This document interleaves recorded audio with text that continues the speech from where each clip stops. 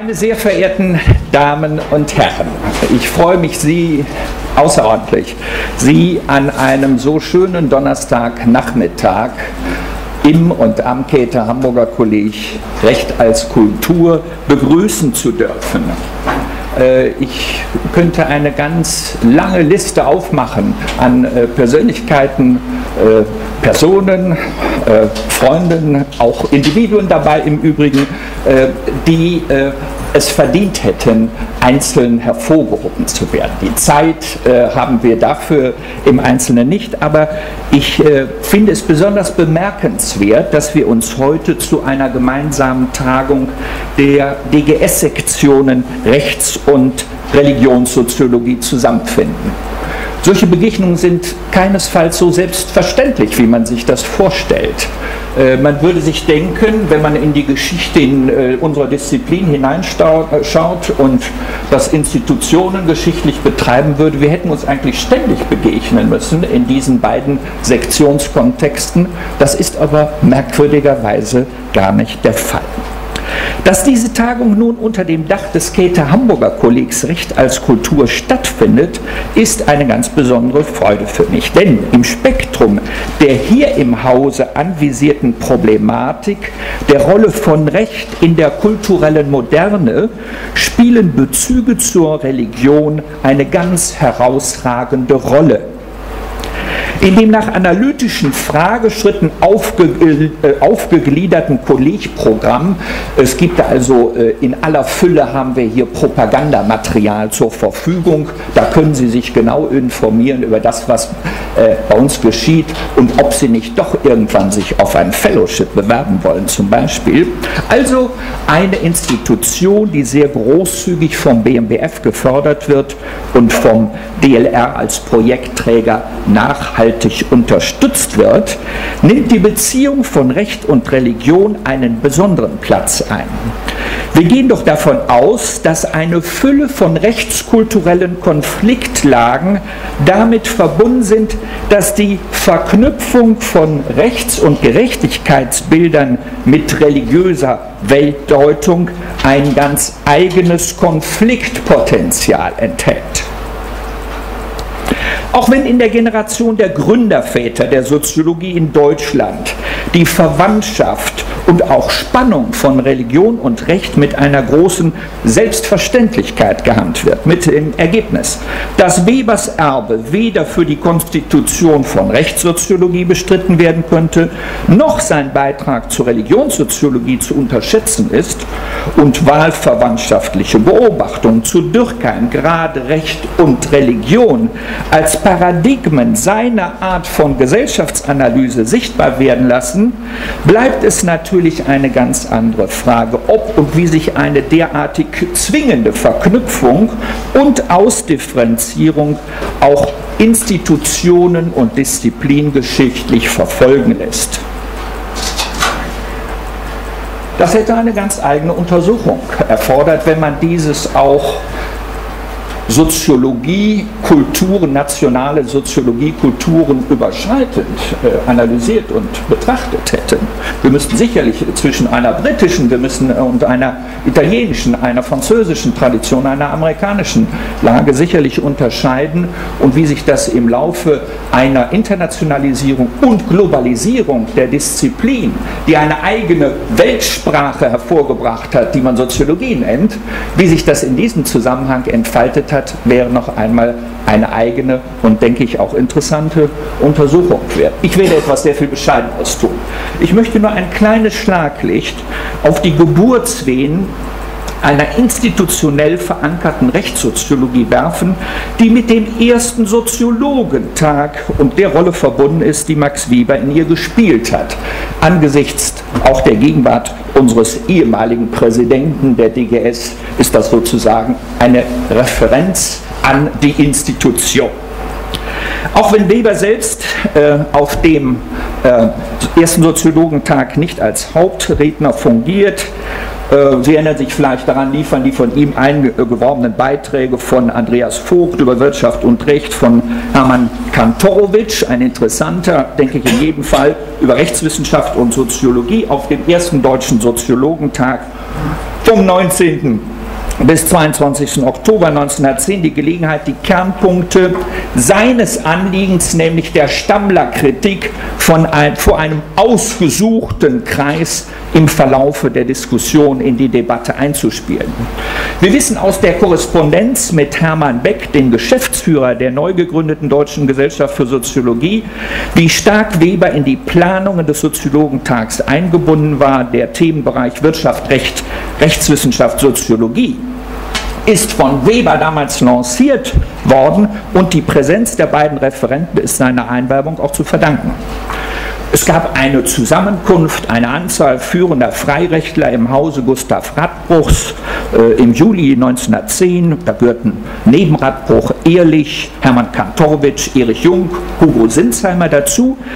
Äh, hier unterrichtete Radbruch Kantorowitsch am äh, 27. Juli darüber über ein Gespräch mit Weber, in dem dieser sich prinzipiell offen gezeigt habe für die Idee, dass einer von ihnen auf dem Soziologentag sprechen werde. Weber hat dies dann im Zuge der weiteren Planung des Soziologentags auch realisiert, aber nicht nur programmatisch gedachte Redebeiträge äh, wurden anvisiert, sondern die DGS sollte durch Kantorowitsch angeregt eine Abteilung für Philosophie und Soziologie des Rechts erhalten. Das war 1910 geplant und damit einen starken rechtssoziologischen Akzent erfahren, wie Weber dann auch in einem Brief an Hermann Beck fordert und selbst nach dem inzwischen berühmten und von Ihnen sicherlich auch mehrfach studierten skandalösen Ablauf der Diskussion zu dem Beitrag von Kantorowitsch, der durch sein Thema der Beziehung von Rechtswissenschaft und Soziologie den Sprengstoff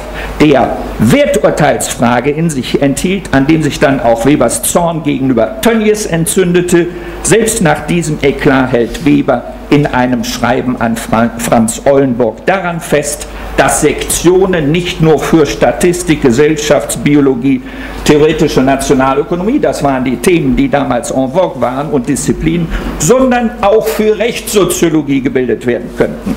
Er insistiert nach dem Eklat in seinem Schreiben an den Vorstand der DGS, dass es möglich sein muss, die Beziehung zwischen Soziologie und anderen Wissenschaften bei uns zu diskutieren, also auch der Rechtswissenschaft. Die steht außer Frage. Einen Tag später schreibt er dann an, resigniert an Tönnies, die Möglichkeit einer rechtssoziologischen Sektion scheint vernichtet. Nun vielleicht gelingt es doch noch, verständige Juristen heranzuziehen. Und das ist natürlich eines der Hauptprobleme, äh, einfach äh, des Austauschs zwischen Kulturwissenschaften und äh, Jurisprudenz. Nicht nur verständige Kulturwissenschaftler, sondern eben auch die verständigen Juristen zu finden. Und ich freue mich sehr, dass zum Beispiel Frau Detloff äh, zu denjenigen gehört, die sich als solche äh, allein dadurch geoutet haben, dass sie äh, bei uns einfach äh, so intensiv mitwirken. Alles, jede Art von Rechtssoziologie, die den Kontakt zu den normativen Grunddisziplinen verlieren würde, wäre natürlich von vornherein verloren. Und insofern ist es auch seinerzeit in Webers Perspektive selbstverständlich gewesen, dass hier der Bezug zur Jurisprudenz auch für eine rechtssoziologische äh, Rekonstruktion äh, der Welt absolut unabdingbar ist. Allerdings ist es nicht, zu einer Konstitu nicht zur Konstituierung einer rechtssoziologischen Sektion gekommen und es wurden auch die von Weber äh, angelockten Juristen für die Arbeit der DGS letztlich nicht gewonnen. Noch für die Publikation der Verhandlungen allerdings worüber wir überhaupt über diese Vorgänge informiert sind, drängt Weber seinem Verleger gegenüber auf baldige Drucklegung, damit nun an anderem Orte auf einer Juristentagung, nämlich auf dem zweiten Kongress der Internationalen Vereinigung für Rechts- und Staatsphilosophie, die Ergebnisse der Debatten über das Verhältnis von Rechtswissenschaft und Soziologie zur Kenntnis genommen würden. Ich meine, das ist einfach der Grund, warum ich das noch einmal erzähle und an diese Geschichte erinnere, dass es diesen lebhaften Austausch bereits einmal vor über 100 Jahren gegeben hat und äh, wir nichts Neues erfinden, sondern wir mitunter den Eindruck haben, dass wir Anschluss an Diskussionen finden müssen, die wir zwischendurch einmal vielleicht zwischendurch eben auch verloren haben. Nicht unerheblich für das Scheitern des Institutionalisierungsversuches war Webers trügerische Hoffnung, über den hochgeschätzten Kantorowitsch auch die Freirechtsbewegung mit einbinden zu können. Im Vorfeld des Soziologentages hatte Weber dem Geschäftsführer Hermann Beck gegenüber Kantorowitsch nämlich mit der Überlegung als Redner angepriesen, weil deren von der freirechtlichen Bewegung, welche heute zweifellos die besten Köpfe der jüngeren soziologisch-philosophisch interessierten Juristen umfasst, gern auf dem Soziologentag erscheinen würden, wenn einer von ihnen dort zu Worte käme. Und damit verband sich dann auch die Hoffnung auf eine gute Beteiligung der Rechtsphilosophen. Diese besten Köpfe der jüngeren soziologisch-philosophisch interessierten Juristen waren freilich nicht so einfach zu handhaben, wie die Reaktion auf den ersten Debattenbeitrag zu Kantorowitsch Vortrag über Rechtswissenschaft und Soziologie belegen. Ernst Fuchs hatte nämlich die These gewagt, dass Werturteile in der Beziehungsanalyse von Rechtswissenschaft und Soziologie nicht auszuschließen seien. Ein Sakrileg, wie wir wissen, für die Werturteilsasketen. Im Übrigen stand ja der Versuch einer normenbegründenden soziologischen Rechtslehre, wie sie Fuchs vertrat, in unvereinbarem Gegensatz zu den methodologischen Grundüberzeugungen Webers, die schließlich in die scharfen gegen die Freirechtler gerichteten Formulierungen des achten Paragraphen der Rechtssoziologie, der sogenannten Rechtssoziologie, dieses Rechtstextes, den wir inzwischen auch in der historisch-kritischen Gesamtausgabe zur Verfügung haben, Eingang finden werden.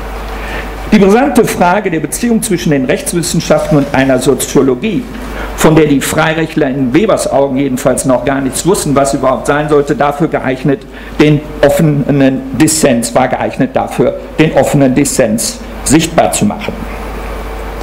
Es bleibt festzuhalten, dass die DGS seinerzeit kein idealer Ort für eine soziologische Betrachtung des Rechts gewesen wäre, auch wenn ihre prominentesten Mitglieder wie Tönnies und Simmel ja keineswegs blind für die soziologische Bedeutung des Rechts waren. Ferdinand Tönnies, das wird vielfach vergessen, hatte gar das dritte Buch in Gemeinschaft und Gesellschaft als soziologische Gründe des Naturrechts überschrieben. Und Georg Simmel wusste immer wieder auf das Recht wenn auch als eine ewige Krankheit zurückzukommen. Von gewissen Grundtatsachen aus logisch entwickelt, in einem Kodex fester Gesetze niedergelegt, von einem besonderen Stande getragen, gewinnt es den anderweitigen, von den Personen empfundenen Verhältnissen und Bedürfnissen des Lebens gegenüber jene Starrheit, durch die es sich schließlich wie eine ewige Krankheit forterbt, Vernunft zum Unsinn, Wohltat zur Plage wird. Dennoch ist die Institutionalisierung des Themas Recht in der DGS seinerzeit nicht geglückt. Für Weber konnte das die Notwendigkeit, etwas Eigenes zu liefern, nur steigern, denn wo andere, wie er das sagt, Minderleistungen produzierten, setzte äh, Webers Ehrgeiz ein. Und dieser Ehrgeiz hat sich dann in den Texten zu Wirtschaft und Gesellschaft, äh, zu diesem Torso-Werk, äh, in der Rechtssoziologie, Rechtssoziologie sukzessive von der Auseinandersetzung mit Stammler sich ablösend in eine Analyse kultursoziologischer Art verzweigt, in der Rechtskulturen in idealtypischer Weise so gezeichnet werden, dass für uns heute auch daraus verständlicher wird, wieso es zu bestimmten konflikthaften Kontakten und auch konflikthaften Auseinandersetzungen zwischen diesen rechtskulturellen Prägungen äh, der jeweiligen Sonderwelten, ob das im Islam, ob das äh, in Indien, ob das in christlichen Traditionen oder jüdischen Traditionen, im äh, chinesischen oder in anderen Kontexten geschehen ist. Unser Ehrgeiz heute nur geht, meine ich, über das Scheitern dieser Ausgangslage hinaus. Und das ist ja schon mal außerordentlich erfreulich. Denn die von Herrn Kollegen König und Herrn Kollegen Schäffer eingeworbenen Beiträge auf dieser Tagung geben hiervon aus meiner Sicht Zeugnis. Ich stelle sie nicht in ihrem inneren Zusammenhang vor, weil das die Aufgabe des nächsten äh, Sprechers ist, nämlich des Sprechers äh, der Sektion Rechtssoziologie, der zugleich auch demnächst zu dem eigenen Thema, das er für die Vorstellung seiner Perspektive und der Thematisierung der zentralen Fragestellung ausgewählt hat, nun äh, gleich zu uns sprechen wird. Ich möchte uns allen, meine Damen und Herren, und hierbei möchte ich neben den Gästen aus den beiden Sektionen auch besonders unsere Fellows aus unterschiedlichen Disziplinen wie Philosophie, Islamwissenschaft, Jurisprudenz, Politikwissenschaft und auch Soziologie im Übrigen in diese Begrüßung einschließen. Ich möchte uns allen schöne Vorträge, ein weiterhin auch äh, animierendes Wetter und mythische Blicke auf den Rhein und ins Siebengebirge und auf den Drachenfels äh, wünschen, spannende Diskussionen und viele Anregungen für eine weitere Erforschung von Recht und Religion in soziologischer Perspektive. Das wird unsere Aufgabe heute und morgen sein. Ich freue mich sehr darüber, dass wir das gemeinsam tun werden.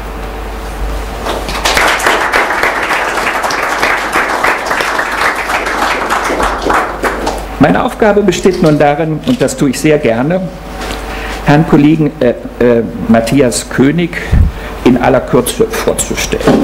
Er ist Ihnen ja äh, bekannt. Ich werde jetzt den Studienweg äh, von der evangelischen Theologie und Religionswissenschaft der Universität Hamburg und den einzelnen Studienstationen äh, Princeton University eingeschlossen äh, nicht durchbuchstabieren.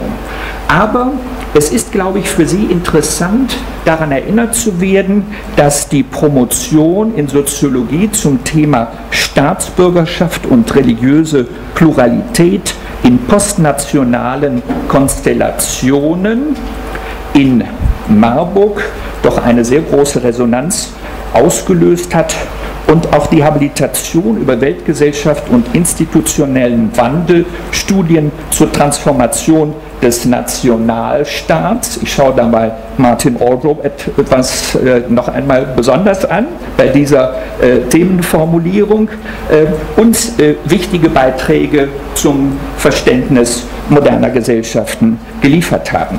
Mir fällt gleichzeitig aber auch aus den zahlreichen Publikationen auf, äh, dass immer wieder das Thema äh, der Menschenrechte auftaucht als ein äh, Objekt, mit dem sie sich intensiv befasst haben und in dem sie gerade auch der Auffassung waren, wenn man in diese Texte hineinschaut, dass man durchaus von den Klassikern profitieren könne. Sei es Dürkheim, sei es Weber und ich habe in Fußnoten sogar entdeckt, dass sie auch meine eigenen Arbeiten äh, zitiert haben. Das ist nicht der einzige Grund, weshalb ich mich auf die Zusammenarbeit mit Ihnen in diesen beiden Tagen besonders freue, sondern ähm, ich äh, möchte wirklich auch zum Ausdruck bringen, dass ich äh, mir wirklich vorstellen kann, dass äh, diese Begegnung der beiden Sektionen tatsächlich in diesem für die Soziologie zentralen Thema uns zumindest an vieles erinnern kann, was auf unserem Aufgabenkatalog an erster Stelle zu stehen hätte. Dass sie inzwischen in Göttingen sind und äh, dass sie dort äh, auch als äh, Fellow äh, tätig sind, all dies ist in diesem Kreis be bekannt und ich werde auch äh, nicht den Fehler begehen, ihre äh, Herausgebertätigkeiten en Detail zu erwähnen.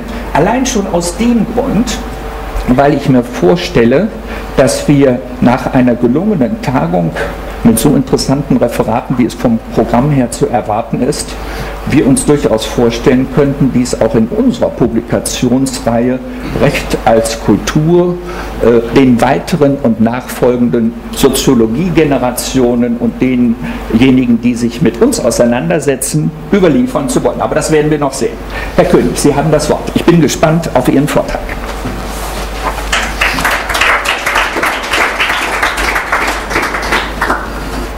Ja, lieber Herr Gebhardt, vielen Dank für die freundliche Begrüßung und Eröffnung dieser Tagung. Ich möchte das jetzt für den Vorstand zumindest der Sektion Religionssoziologie noch mit ein, zwei Worten erweitern, bevor ich dann zu meinem eigenen Vortrag komme. Recht und Religion, Sie haben es eben gerade ja von Herrn Gebhardt gehört, gehören seit den Klassikern zum thematischen Kernbestand soziologischer Theoriebildung. Und zwar in unterschiedlicher Art und Weise. In der Dürkheimschen Traditionslinie standen Recht und Religion im Mittelpunkt der Analyse sozialer Bindungen und gesellschaftlicher Integration. In der Weberschen Traditionslinie hingegen sind Recht und Religion prominente Beispiele für Prozesse der Entstehung und Rationalisierung eigenlogischer Wertsphären und damit der Ausdifferenzierung autonomer Handlungsfelder. In beiden Traditionen aber, deren Fortwirken bis heute äh, sehr schön nachgezeichnet werden könnte, gewinnen Recht und Religion zentrale Bedeutung für die Analyse moderner Gesellschaften. Insofern verwundert es, dass trotz dieses Erbes sowohl die Rechts- als auch die Religionssoziologie in der Nachkriegszeit lange Zeit als eher marginale spezielle Soziologien in der Deutsch, im deutschsprachigen Raum galten. Im deutschen Sprachraum hatte dies nicht zuletzt mit der institutionellen Verankerung beider Teildisziplinen außerhalb der akademischen Soziologie, nämlich zum einen innerhalb der praktischen Theologie und zum anderen innerhalb der angewandten Rechtswissenschaft zu tun.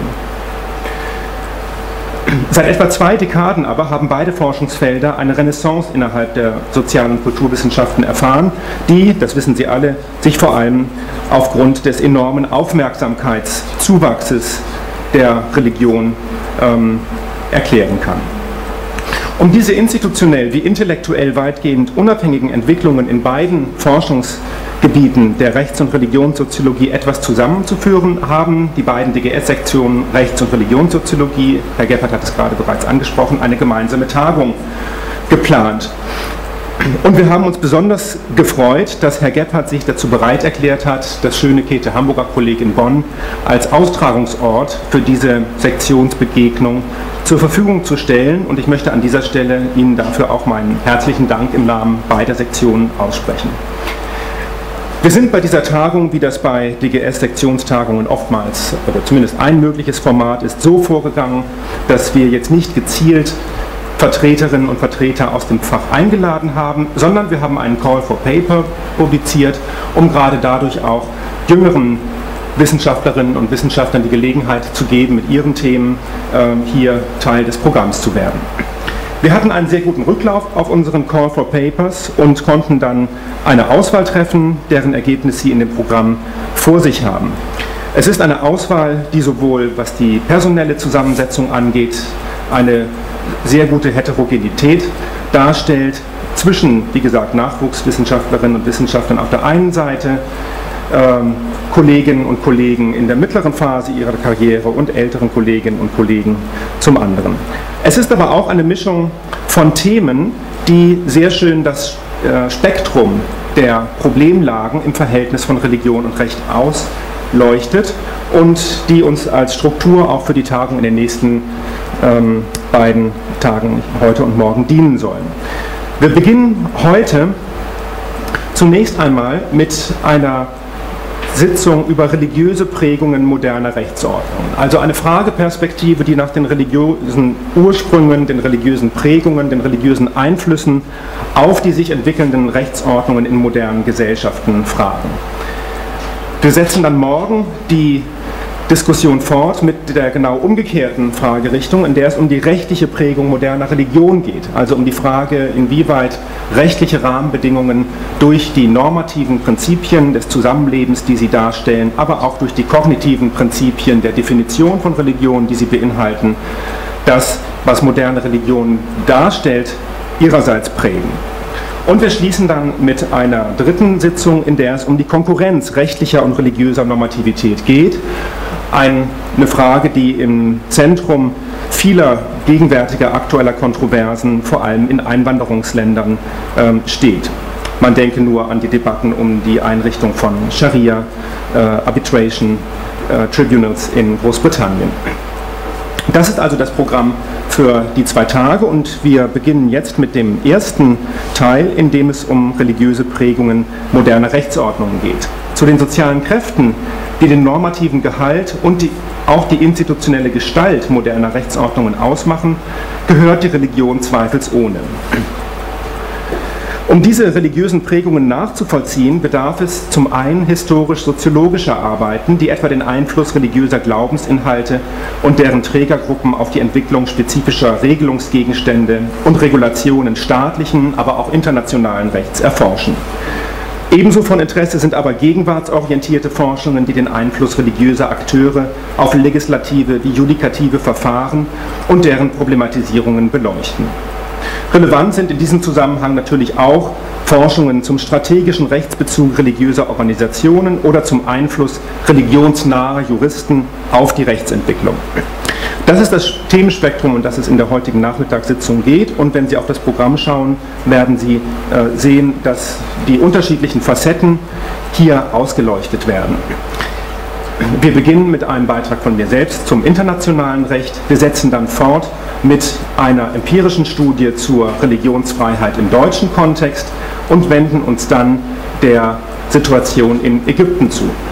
Der Vortrag von Monika Wohlrab-Saar musste leider aufgrund eines Todesfalls im engeren Kollegenkreis kurzfristig abgesagt werden. Da bitte ich um Ihr Verständnis und ähm, denke aber, dass wir die Zeit entsprechend für die Diskussion gut nutzen können.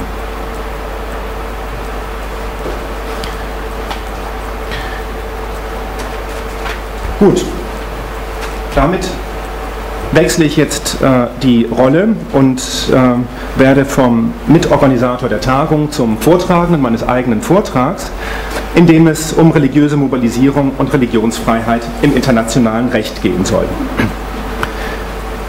In meinem Beitrag, der einen Teilaspekt des Tagungsthemas beleuchtet, äh, nehme ich wahrscheinlich die am stärksten makrosoziologisch ausgerichtete Perspektive unter den Beiträgen in dieser Tagung ein. Es geht mir nämlich um die religiöse Prägung des Völkerrechts. Beim Völkerrecht war bekanntlich lange Zeit unklar, ob es überhaupt als Recht bezeichnet werden dürfe. Folgte man den Zwangstheorien des Rechts, so auch in der klassischen Soziologie von Weber oder weniger explizit von Dürkheim vertreten, so musste man dem Völkerrecht den Rechtscharakter abstreiten. Theodor Geiger, einer der wichtigsten Begründer der Rechtssoziologie, konzidierte dem Völkerrecht immerhin den Status eines Rechts in statu nascendi.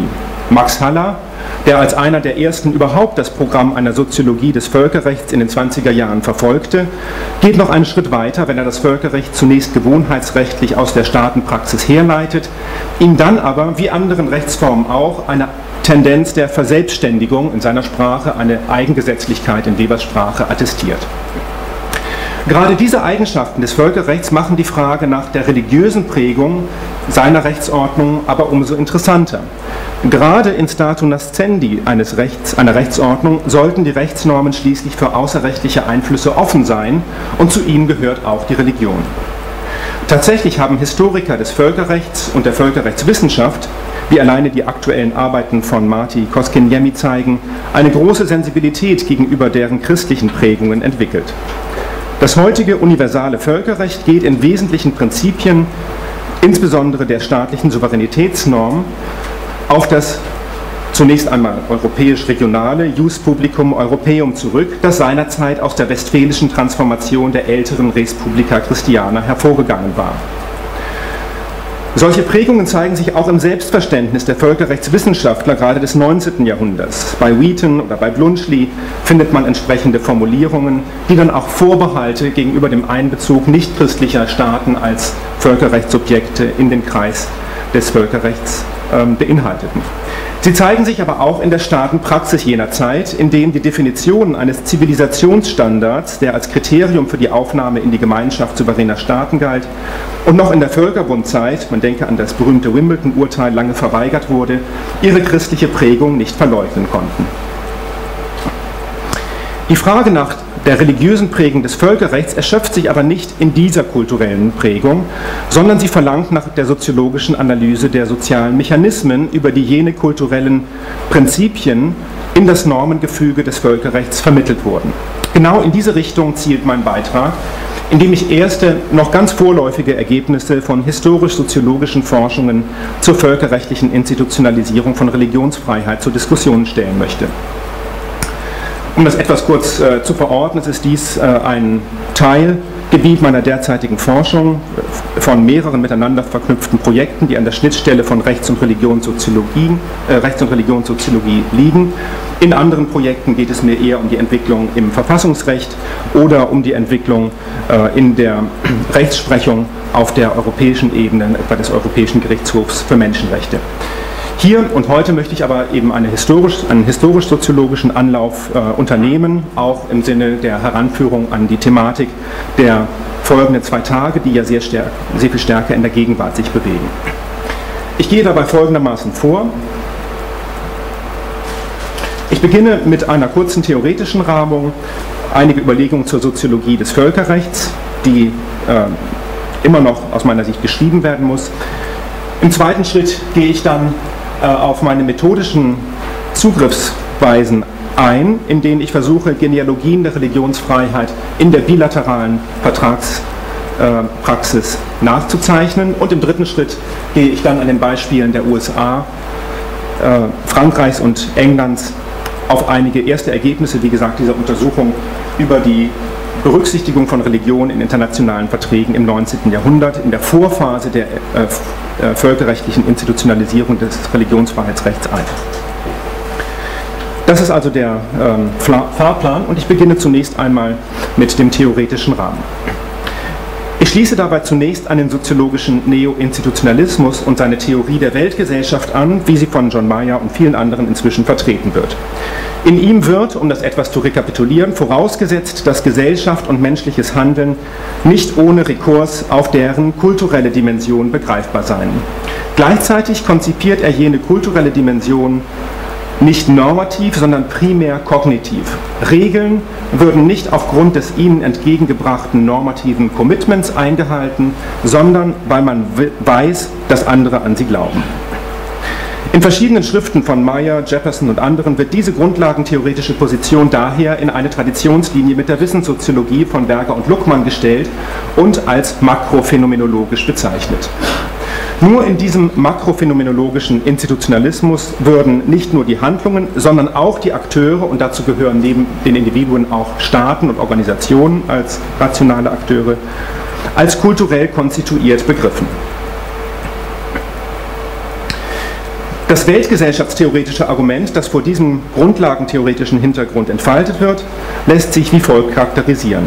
Anzunehmen ist zunächst eine staatenlose und insofern, oder eine staatslose genauer gesagt, und insofern Tocqueville'sche globale Vergesellschaftung, in der Handlungskoordination primär institutionalistisch über die Diffusion kognitiver Muster zu erklären sei. Die Weltgesellschaft basiere gewissermaßen auf kognitiven Konzeptionen der Akteursidentitäten von Staaten, Organisationen und Individuen, deren kulturelle Diffusion Isomorphie auch dort erkläre, wo sie sich im Rahmen rationalistischer oder realistischer Theorien, wie man in internationalen Beziehungen sagt, nicht erklären lassen. Das Völkerrecht stellt sich in dieser Perspektive, ähnlich wie in Durkheims Rechtssoziologie, als institutionalisierter Ausdruck kultureller Prinzipien dar. Die völkerrechtliche Verankerung der Menschenrechte etwa wird als weltkulturelle Konstruktion individueller Actorhood gedeutet, die im 20. Jahrhundert einen enormen Anstieg erfahren habe. Wie werden nun im soziologischen Neo-Institutionalismus die Ursprünge weltgesellschaftlicher Institutionen erklärt? Es gibt hier eine Reihe von Argumentationslinien, die äh, letztlich, und darauf wird mein Argument hier hinauf, hinauslaufen, auf Forschungsdefizite hinweisen. Eine erste Argumentationslinie besagt, dass Menschenrechte als Effekt langfristiger kultureller Transformation des okzidentalen Christentums zu deuten seien. In Vorwegnahme gewissermaßen der gegenwärtig viel diskutierten Arbeit von Charles Taylor wird die moderne und mit ihr der geradezu sakrale Status der menschlichen Person auf die Transposition vormals göttlicher Eigenschaften auf immanente Entitäten, das Individuum, aber eben auch den Staat zurückgeführt. Gerade mit Blick auf das Völkerrecht haben Liz Boyle und John Mayer diese Argumentationslinie entwickelt, wenn sie das universalistische und rationalistische Recht in die Tradition älterer christlicher Naturrechtslehren stellen wollen. Einer zweiten Argumentationslinie zufolge, die man auch gelegentlich antrifft, ist es indessen die Katastrophenerfahrung des Zweiten Weltkriegs, die gewissermaßen schockartig dem Staat und auch anderen kooperativen Einheiten Legitimität entzogen habe und zur Verfestigung eines Kults des Individuums, um hier Dürkheims Sprache zu verwenden, geführt habe. Und eine dritte Argumentationslinie schließlich zielt auf die zunehmende Dominanz des US-amerikanischen liberalen Modells politischer Modernität im globalen Maßstab. Wie gesagt, alle diese drei Argumentationslinien sind äh, nicht voll entwickelt und sie weisen auf ein Problem hin, was mit der neo-institutionalistischen Perspektive verbunden ist, nämlich, dass sie die genauen sozialen Mechanismen unspezifiziert lässt, in denen einzelne Rechtsnormen eine institutionelle Verfestigung erfahren. Der Institutionalisierungsprozess als solcher wird gewissermaßen nicht äh, in den Blick genommen. Aus diesem Grund erweitere ich die neo-institutionalistische Theorieperspektive in einer doppelten Hinsicht. Erstens knüpfe ich an Forschungen zu sozialen Bewegungen an, die historisch oftmals den Anstoß für weitreichende Institutionalisierungsprozesse gegeben haben. Peter Stamatov beispielsweise hat auf die Ursprünge transnationaler Advocacy Networks in den religiösen Erweckungs- und Missionsbewegungen des 19. Jahrhunderts und deren komplexer religionspolitischer Interessenlage in den Kolonien hingewiesen. Überhaupt hat die Literatur zur globalen Verbreitung von Demokratie und Rechtsstaatlichkeit zunehmend auf die Bedeutung der äh, Missionsgeschichte aufmerksam gemacht. Die Arbeiten von Woodbury wären in diesem Zusammenhang zu nennen. Und schließlich werden Überlegungen zum Wechselspiel von religiöser Sensibilisierung für das Leiden anderer mit transnationalen Kommunikationswerken Werken, äh, neuerdings äh, bei Hans Joas ausgeführt, insbesondere am Beispiel der religiösen Wurzeln der Antisklavereibewegung im 19. Jahrhundert. Zweitens knüpfe ich an feldtheoretische Überlegungen an, in denen die sozialen Bewegungen und Staaten als Akteure innerhalb sozialer Felder und dazu gehören auch juristische Felder gesehen werden. Mit der Eigendynamik eines autonomen und zunehmend transnational verfassten juristischen Feldes gewinnen sie nämlich einen entscheidenden Mechanismus der rechtlichen Verselbstständigung in den Blick, der erklären kann, wie zunächst lediglich zeremoniell artikulierte Rechte äh, zu Arenen für Kämpfe um symbolisches Kapital werden. Schon für das 19. Jahrhundert ist dabei auf die Bedeutung liberal-viktorianischer internationaler Juristennetzwerke hingewiesen worden, in den Arbeiten von Koskenjani etwa. Yves Desilets und Brian Garth haben auf die Expansion des Feldes der Menschenrechte in den 70er Jahren hingewiesen, aus dem sich der in der Historiografie neuerdings behauptete Bedeutungsaufschwung der Menschenrechtspolitik in den letzten vier Jahrzehnten erklären lasse. Und auch am Beispiel der EGMR ließe sich zeigen, dass völkerrechtlich kodifizierte Menschenrechte erst bei Ausdifferenzierung eines entsprechenden juristischen sozialen Feldes die Rechtswirklichkeit in den einzelnen Mitgliedstaaten zu beeinflussen äh, vermögen. Vor dem Hintergrund dieser theoretischen Überlegungen, die Einsichten des Neo-Institutionalismus aufgreifen, aber sie bewegungstheoretisch und feldtheoretisch erweitern, will ich nun im nächsten Schritt mein eigenes Argument zum Zusammenhang von religiöser Mobilisierung und der völkerrechtlichen Institutionalisierung von Religionsfreiheit knapp skizzieren. Die völkerrechtliche Verankerung von Religionsfreiheit erfolgte in der Allgemeinen Erklärung der Menschenrechte von 1948 und im nachfolgenden Zivilpakt von 1966. Das ist gewissermaßen der äh, Ausgangspunkt in der konventionellen Literatur zur Religionsfreiheit. Religionsfreiheit kann dabei ihrem normativen Gehalt nach folgendermaßen verstanden werden. Idealtypisch gesprochen und in Verkürzung einer hochentwickelten juristischen und philosophischen Fachliteratur begrenzt das Recht auf Religionsfreiheit die Herrschaftsbefugnisse des souveränen Staates in mehrfacher Weise. Sie befreit den religiösen Glauben und seine Ausübung von staatlichem Zwang. Das ist gewissermaßen das Moment der individuellen Gewissens- und Religionsausübungsfreiheit. Sie schützt ferner, und hier ist von vornherein ein Moment der Spannung im Recht auf Religionsfreiheit angelegt, die innere Autonomie der religiösen Gemeinde vor staatlichem Eingriff, die korporative Religionsfreiheit. Und drittens, sie verbietet dem Staat die Favorisierung einer spezifischen, sei es religiösen, sei es nicht religiösen Weltsicht.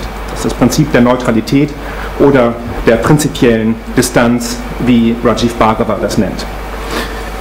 Diese Eigenschaften der individuellen korporativen Religionsfreiheit und der Neutralität ähm, fallen zusammen in der Eigenschaft der Religionsfreiheit als ein Grund- oder Menschenrecht, das allen gleichermaßen zukommt. Das Recht auf Religionsfreiheit entspricht insoweit mit Rainer Forst gesprochen, einer Respektkonzeption von Toleranz, deren normativer Sinn die wechselseitige Achtung aller, ob religiöse Mehrheit oder Minderheit, als Menschen bzw. Staatsbürger mit gleichen Freiheitsrechten ist. Das Recht auf Religionsfreiheit äh, in verschiedenen Formulierungen, wie gesagt, seit den 40er Jahren im Völkerrecht auch verankert, äh, findet sich inzwischen in der Mehrzahl der Verfassungen weltweit. Um nur einen kurzen Seitenblick auf das andere Projekt zu Verfassungen zu geben, an dem ich derzeit äh, arbeite, ähm, möchte ich hier einige Folien zeigen. Es ist ein Projekt, in dem wir Verfassungen weltweit kodieren auf die Darstellung religiöser, sprachlicher und ethnischer Homogenität oder Heterogenität. Und wir haben dabei eine Reihe von unterschiedlichen Indizes gebildet, die das Ausmaß der Repräsentation kultureller Homogenität, individueller Rechte und Gruppenrechte darstellen. Man sieht hier im langfristigen Verlauf einen deutlichen äh, Anstieg von individuellen Rechten und von ähm, äh, Gruppenrechten. Das wird, wenn man das etwas anders darstellt, nämlich skaliert, äh, noch deutlicher, dass die individuellen Rechte gewissermaßen das äh, stärkst, am stärksten sich ähm, hier durchsetzende Rechtsprinzip darstellen. Wenn man etwas genauer schaut auf religiöse im Vergleich zu sprachlichen und ethnischen Rechten, sieht man noch stärker, dass das Ausmaß der Homogenitätsunterstellungen religiöser Art in den Verfassungen zumindest Europas deutlich zurückgeht. Auch im globalen Trend ließen sich ähnliche, ähnliche Folien zeigen, wohingegen die individuelle Religionsfreiheit ähm, deutlich äh, zunimmt. Das ist jetzt für meinen Vortrag heute weniger von Interesse. Ähm, denn ich möchte das nur als Hintergrund nutzen, um das Ausmaß der Institutionalisierung von Religionsfreiheit zu, ver zu veranschaulichen. Die Frage, die vielmehr äh, aufgeworfen ist, was die Vorgeschichte des Menschenrechts auf Religionsfreiheit ähm, ist. Diese Vorgeschichte wird üblicherweise in eine große Erzählung eingebaut, der zufolge Religionsfreiheit mit dem Vorgang der Säkularisation des Staates in der europäischen Neuzeit gleich ursprünglich sei, sich sodann in den europäischen Verfassungen und schließlich auf völkerrechtlicher Ebene Geltung verschafft habe. Ein Seitenstrang dieser Erzählung betont dabei, dass der ursprünglich auf Religion bezogene Minderheitenschutz sich im 19. Jahrhundert zunehmend auf ethnisch-nationale Minderheiten verlagert habe. In diesem Zusammenhang werden äh, jüngst insbesondere von Seiten kritischer Anthropologen und auch von Vertretern der internationalen Beziehungen, Politikwissenschaftlern, äh, die geostrategischen Interessen in den Vordergrund gestellt, die Staaten dazu bewogen haben, den Schutz religiöser Minderheiten, nämlich der eigenen religiösen Minderheiten in anderen Staaten, rechtlich zu verankern. Das ist alles bekannt. Ich möchte demgegenüber ein Argument entwickeln, was einen etwas anderen Zusammenhang in den Vordergrund stellt und was an die genannten theoretischen Überlegungen anschließt. Ich möchte nämlich argumentieren, dass sich die Herausbildung eines symmetrischen Rechts auf Religionsfreiheit aus einer Verflechtung von zwei verschiedenen Bewegungsdynamiken erklären lässt. Zum einen den religiösen Missionsbewegungen, die auf die vielfältigen Erweckungsbewegungen im 19. Jahrhundert zurückgehen und die ein Interesse an der internationalen Verrechtlichung von Religionsfreiheit haben entstehen lassen, für das es dann Trägergruppen gegeben hat. Und zum Zweiten eine Dynamik, in der religiöse Minderheiten innerhalb bestimmter Staaten ähm, die das sich halten an schon eingegangene Versprechen in der eigenen Verfassungsrechtsordnung reklamiert haben. Das betraf vor allem die Katholiken und die Juden in den USA, darauf werde ich gleich äh, genauer eingehen. Es ist gewissermaßen ein Prozess, in dem auf der einen Seite die Internationalisierung von Religionsfreiheit durch Missionsbewegungen vorangetrieben wird und dann universalisiert wird durch die äh, Bewegungen von religiösen Minderheiten innerhalb der jeweiligen europäischen Staaten. Die Methode, mit der ich gemeinsam mit einem Kollegen aus Frankfurt, Stefan Kroll, hier äh, zusammengearbeitet habe, ist, dass wir eine systematische Recherche bilateraler Handels-, Friedens- und Freundschaftsverträge im Zeitraum 1800 bis 1919 äh, betrieben haben, und zwar zwischen Frankreich, Großbritannien und den USA einerseits und allen nicht-europäischen souveränen Staaten andererseits. Das führt zu einer Sammlung von 144 Verträgen, ähm, die wir dann systematisch ausgewertet haben. Die Begründung für diese äh, Auswahl liegt darin, dass Frankreich, Großbritannien und die USA diejenigen drei Länder sind, die international auf der einen Seite eine Großmachtstellung im 19. Jahrhundert äh, inne hatten, zumindest in dem Fall der europäischen Mächte, bei den USA im amerikanischen Raum, die aber auch innerhalb ihrer eigenen Rechtsordnung bereits erste Ansätze der rechtlichen Institutionalisierung von Religionsfreiheit hatten, wenngleich mit unterschiedlichen Varianten. Dass wir die innereuropäische völkerrechtliche Entwicklung ausblenden, liegt daran, dass diese weitgehend interessant, äh, bekannt ist und ähm, und wie gesagt vor allem diese geostrategischen Interessen hier im Blick auf das Osmanische Reich im Vordergrund stehen. Interessante unter dem Gesichtspunkt der Emergenz genuin universalistischer Normen muss natürlich für ein christlich verfasstes Völkerrecht zunächst die Konfrontation mit nicht-europäischen, nicht-christlichen Staaten sein. Wir haben in diesen Artikeln sodann die religionsbezogenen Artikel untersucht nach mehreren Dimensionen, dem Umfang der Religionsfreiheit, wird nur die Gewissensfreiheit geschützt oder auch die Ausübung, dem Trägerkreis der Religionsfreiheit geht es um bestimmte Personenkategorien, meinetwegen die Belegschaft des Konsulats, Staatsbürger oder alle Menschen und werden diese Rechtsprinzipien symmetrisch, also für beide Vertragsparteien gleicher, äh, in äh, gleicher Weise festgelegt. Unterfüttert wird diese Analyse der, der äh, Rechtstexte mit einer Sekundäranalyse der historischen Forschung zum Entstehungskontext einzelner Artikel. Ich möchte jetzt im Folgenden einige erste, und ich betone, dass es um vorläufige Befunde geht, äh, hier vorstellen und Ihnen plausibel machen, warum es sich lohnt, sich in historisch-soziologischer Perspektive mit den Vorgeschichten der Religionsfreiheit zu befassen. In den Verträgen lassen sich grob drei Typen von Religionsfreiheit unterscheiden. Der erste Typus ist das, was man gewissermaßen den äh, Konsularschutz nennen kann. Es geht hier um Religionsfreiheit, die typischerweise dem jeweiligen europäischen Konsul in nicht-europäischen Kontexten zugestanden wird, der seine eigene oder auch die seiner Familie, seiner Belegschaft Religion unbehelligt ausüben können soll. Der zweite Typus, der dann allmählich im 19. Jahrhundert entsteht und sich in der bilateralen äh, Vertragspraxis beobachten lässt, ist der Schutz christlicher Missionsbewegungen. Das sind explizit formulierte Artikel, die dezidiert den Schutz der christlichen Religion in anderen Ländern ähm, äh, äh, betreffen. Der dritte Typus sodann, sind sodann allgemeine Formulierungen von Religionsfreiheit, in denen der Rekurs, der explizite Rekurs auf das Christentum oder sogar auf den Protestantismus nicht mehr fällt und in denen man Vorformen der allmählichen völkerrechtlichen Anerkennung eines Rechts auf Religionsfreiheit sehen kann. Neben diesen drei Typen lassen sich dann eine ganze Reihe von Mustern beobachten. Es gibt Unterschiede zwischen Lateinamerika und Asien, was äh, die Vertragspraxis der drei genannten Staaten angeht. Es gibt ferner Muster der Imitation und der Diffusion, das entspricht ganz den neo-institutionalistischen Erwartungen. Die Rechtsartikel werden vielfach zwischen den Staaten kopiert und zwar in, beiden, in beiden Varianten. Ein Staat, also äh, die USA meinetwegen, kopieren Artikel von einem Vertrag mit Land X in einen Vertrag mit Land Y oder auch der andere Weg, in den ähm, über das Land X ein Vertrag der USA sich dem Vertrag mit Großbritannien angleicht. Es sind gewissermaßen frühe Formen der Habitualisierung und Institutionalisierung eines später dann als selbstverständlich äh, unterstellten kognitiven Musters von Religionsfreiheit, die man hier beobachten kann. Das möchte ich jetzt im Folgenden kurz vorstellen, gehe durch die drei Länder äh, sehr kurz durch und konzentriere mich dabei auf den Fall der USA, weil sie die Dynamik am besten zeigt, um die es mir in meinem Argument geht. Frankreich ist vorwiegend ein Beispiel, in dem der Typus 1 anzutreffen ist.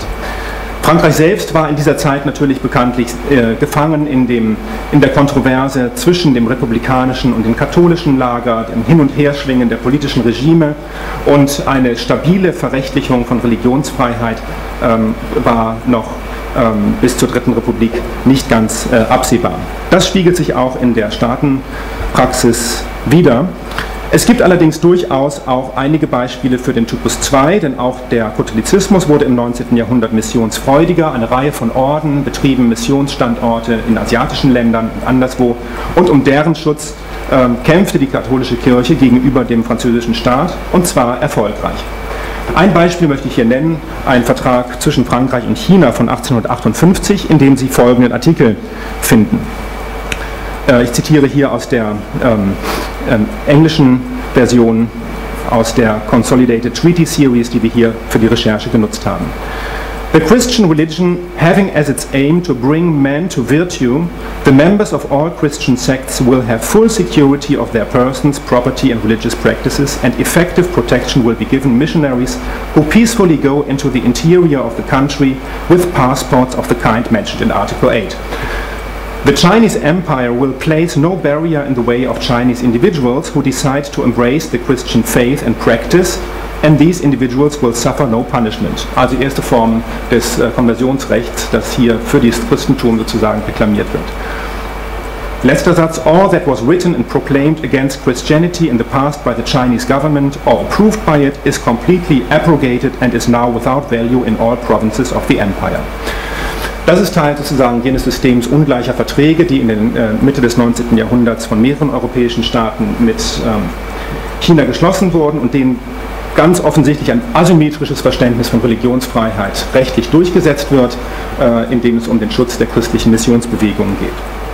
Beispiele für Typus 3, also jenen symmetrisch verfassten Religionsfreiheitsbegriff, finden wir in einem einzigen Fall und der wiederum ist vermittelt über die Imitation, genau das also direkte Abschreiben eines Vertrags, den die USA 20 Jahre zuvor geschlossen hatten, nämlich in einem Freundschaftshandels- und Seefahrtsvertrag mit Chile von 1846. Damit kurz zum großbritannischen äh, Fall. Hier finden wir natürlich auch viele äh, Beispiele für den Typus 1. Wir finden dann aber auch den Übergang zu äh, Typus 2 sehr viel schärfer ausgeprägt als im französischen Fall. Ich möchte hier ähm, eigentlich eher aus einem anekdotischen Interesse einen schon etwas älteren Friedens- und Handelsvertrag mit Algerien zitieren, den, ähm, der die Konversion zum Islam anspricht in einer ganz interessanten Art und Weise. Secondly, it is further concluded and agreed upon that in case any of His Majesty's subjects should, from liquor or from any other motive, declare an intention of embracing the Mohammedan religion, they shall forthwith be secured, sent to the consul's house, and there three days allowed them for reflection, after which three days they shall be at liberty to put their design in execution, and no further constraint be put on them.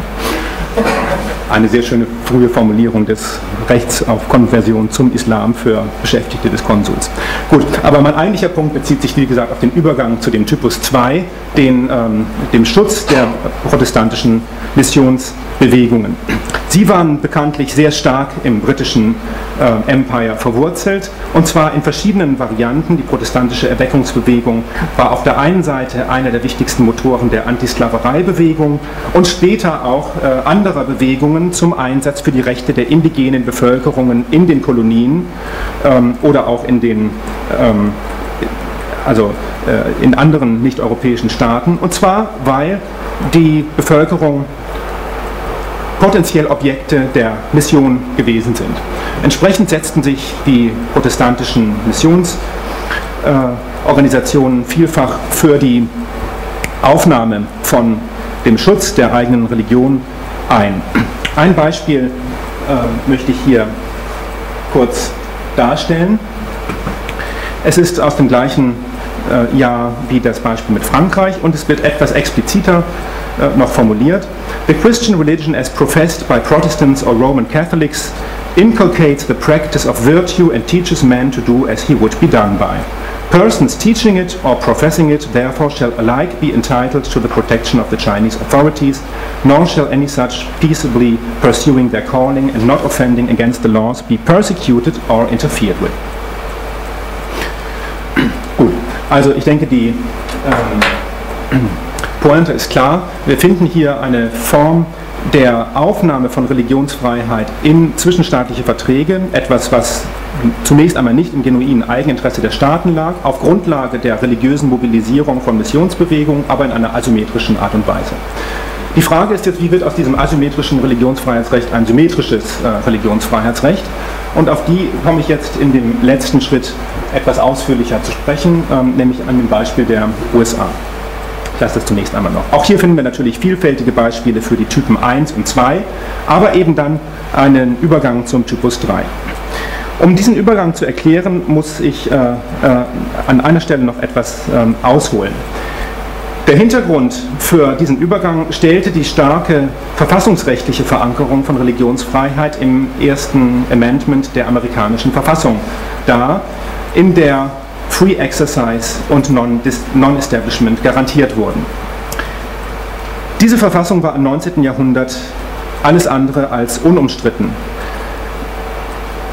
Das Disestablishment der Revolutionsepoche hat, sich, hat erst mit langer zeitlicher Verzögerung dazu geführt, dass Religionsfreiheit auch tatsächlich einklagbar in den USA wurde. Teils hatte dies damit zu tun, dass die Verfassung und ihre Amendments anfangs nur für die Bundesebene galten. Erst 1833 vollzog auch der letzte Staat politisches Disestablishment und noch danach erklärte sich der Supreme Court für den Schutz der Freiheitsrechte gegenüber Einzelstaaten für unzuständig. Wichtiger indessen war, dass die wenigen Urteile, die der Supreme Court überhaupt fällte, den Forderungen religiöser Minderheiten, und das waren vor allem äh, jüdische und katholische Gruppen, später auch Mormonen, allenfalls teilweise entgegenkamen. Ganz im Gegenteil, viele Urteile basierten noch auf der rechtlichen Doktrin Christianity is part of the common law oder standen unter dem Eindruck eines vom konfessionellen ins zivilreligiöse gewendeten Uniformitätsideals. In einem berühmten Urteil von 1892 konnte ein Richter beispielsweise formulieren, This is a Christian nation. Vor diesem Hintergrund ist zu erklären, dass äh, innerhalb der USA es eine sehr starke Kontroverse zwischen den Vertretern und Verteidigern einer tatsächlich liberalen Lesart der Verfassung gab und jenen äh, protestantischen Gruppen, die die christliche, Dominant, die christliche Prägung der USA behaupteten. Diese äh, Kontroverse wurde interessanterweise für eine lange Zeit oftmals mit Rekurs auf einen Vertrag der USA geführt, den der ganz junge Staat 1797 geschlossen hat mit Tripoli, einem dieser barbaresken Staaten in der Region. In dem heißt es nämlich explizit, zitiere hier, as the government of the United States of America is not in any sense founded on the Christian religion, as it has in itself no character of enmity against the laws, religion, or tranquility of Muslims, and as the said states never have entered into any war of act or hostility against any uh, Mahometan nation, it is declared by the parties that no pretext arising from religious opinion shall ever produce an interruption of the harmony existing between the two countries. Also es geht hier ähm, um diesen Satz natürlich, dass äh, die USA nicht äh, christlich seien. Der wurde in Anspruch genommen von vielfältigen religiösen Bewegungen, der Religious Liberty Association und äh, von auch ähm, jüdischen Gruppierungen, um deutlich zu machen, dass äh, die Religionsfreiheit eben nicht nur für die verschiedenen protestantischen Sekten gelten sollte, sondern für alle gleichermaßen. In der Vertragspraxis nun, in der dann auch die Religionsfreiheit geregelt wurde, finden wir jetzt eine äh, Episode, die diesen Übergang von Typus 2 zu Typus 3 in einer sehr anschaulichen Art und Weise darstellt. Und hier gehe ich jetzt zunächst einmal noch auf einen Vertrag zwischen USA und China ein, der im gleichen Jahr geschrieben wurde und in dem sich die protestantischen Missionare beider Länder untereinander abgestimmt hatten. Und Sie sehen das in den Texten, die sehen nämlich fast äh, genau gleich aus. Es heißt hier in dem äh, Vertrag zwischen den USA und China, the principles of the Christian religion as professed by the Protestant and the Roman Catholic churches are recognized as teaching men to do good and to do others as they would have others to do them. Und so weiter und so weiter. Äh, es geht also um den Schutz von äh, christlichen Missionaren und von Konvertiten. Ähm, und es ist insofern eine asymmetrische Variante von Religionsfreiheit. Dieser Artikel nun, um den gab es im Senat, im amerikanischen Senat, eine Kontroverse, in der auf diesen Vertrag mit Tripoli rückverwiesen wurde. Ein Senatsmitglied äh, stimmte gegen den und im Wesentlichen wurde der Artikel dann äh, doch noch äh, verabschiedet. Aber er hatte zur Folge, dass es eine sehr starke jüdische Mobilisierung gegen den einseitigen Religionsfreiheitsschutz in, ähm, in den Außenbeziehungen des amerikanischen Staates gegeben hatte. Man könnte jetzt hier in Details gehen, wer an welcher Stelle wie Einfluss genommen hat, aber die ähm, Effekte werden schon einige Jahre später sichtbar, nämlich in einem weiteren Vertrag mit China, in dem dann dieser Vertrag äh, verändert wurde und allgemeiner formuliert wurde. Schauen Sie sich an, the 29th article of the Treaty of the 18th of June having stipulated for the exemption of Christian citizens of the US and Chinese converts from persecution, it is further agreed that citizens of the United States and China of every religious persuasion and Chinese subjects in the United States shall enjoy entire liberty of conscience and shall be exempt from all disability or persecution on account of their religious faith or worship in either country. Das ist dem Gehalt nach das erste Mal ein symmetrisches Recht auf Religionsfreiheit äh, wechselseitig zwischen den Staaten und unabhängig von einer äh, vorher festgelegten konfessionellen Prägung. Die zweite Hälfte des 19. Jahrhunderts ist voll von einer äh, weiteren Mobilisierung jüdischer Gruppen im Sinne einer liberalen und äh, egalitären Auslegung des Religionsfreiheitsrechts und führte dazu, dass, amerikanische, dass der amerikanische Kongress sich sehr stark dann auch im europäischen Kontext einsetzte. Da verschränkt sich die Geschichte dann gewissermaßen mit der Entstehung des Minderheitenschutzes äh, zugunsten der jüdischen Bevölkerung in Europa. Aber ich kann an dieser Stelle schließen und ähm, möchte einige wichtige Aspekte zusammenfassen. Erstens, das 19. Jahrhundert ist besonders aufschlussreich mit Blick auf die frühe Entwicklungsdynamik im Völkerrecht, in denen sich im Statu Nascendi die ersten Rechtsnormen institutionell verankern und ähm, stabilisieren. Im 20. Jahrhundert haben wir dann natürlich äh, eine andere Situation, in der unter Bedingungen erfolgter Institutionalisierung neue Feldstrukturen entstehen, die transnationale religiöse Mobilisierung noch wahrscheinlicher machen. Man kann daher ähm, von einer bleibenden Bedeutung sozialer Bewegung für die Entwicklung des Rechts sprechen. Es sind dabei, das sollte meine Analyse zweitens gezeigt haben, vor allem zwei Varianten von Bewegungen, die wichtig sind für die Internationalisierung und dann für die Symmetrisierung des Rechts auf Religionsfreiheit. Zum einen die Missionsbewegungen, für die Religionsfreiheit in ihrem genuinen Eigeninteresse steht. Das ist bis heute wirksam. Man denke nur an christliche Bewegungen, die sich in den USA für einen stärkeren Religionsfreiheitsschutz einsetzen und im Hintergrund des International Religious Freedom Act standen. Es sind zweitens aber auch Minderheitenbewegungen, die für Religionsfreiheitsschutz für, die, für Religionsfreiheit zum Schutz eigener äh, kollektiver Identität ähm, kämpfen. Und zwar heute natürlich in einem ganz anderen Horizont, die transnationalen SIX, die im Kampf gegen das 2004-Gesetz in Frankreich eine konzertierte Aktion vor Straßburg, vor New York, vor der UN ähm, verfolgt haben und schließlich erfolgreich waren, ein ähm, Religionsfreiheits- dass Religionsfreiheit für sie gewährleistet wird, sind hier ein Beispiel. Es wird dabei auch deutlich durch die zwei unterschiedlichen Bewegungen, dass unterschiedliche Prinzipien konfligieren. Auf der einen Seite das individuelle Interesse an der ähm, Mission, eine individuelle Form der Religionsfreiheit, die hier in den Vordergrund gestellt wird, und zum anderen eine, ein kollektiver Schutz von Religionsfreiheit, in dem es um die religiöse Tradition eines bestehenden, sei es politischen oder ethnischen Kollektivs geht.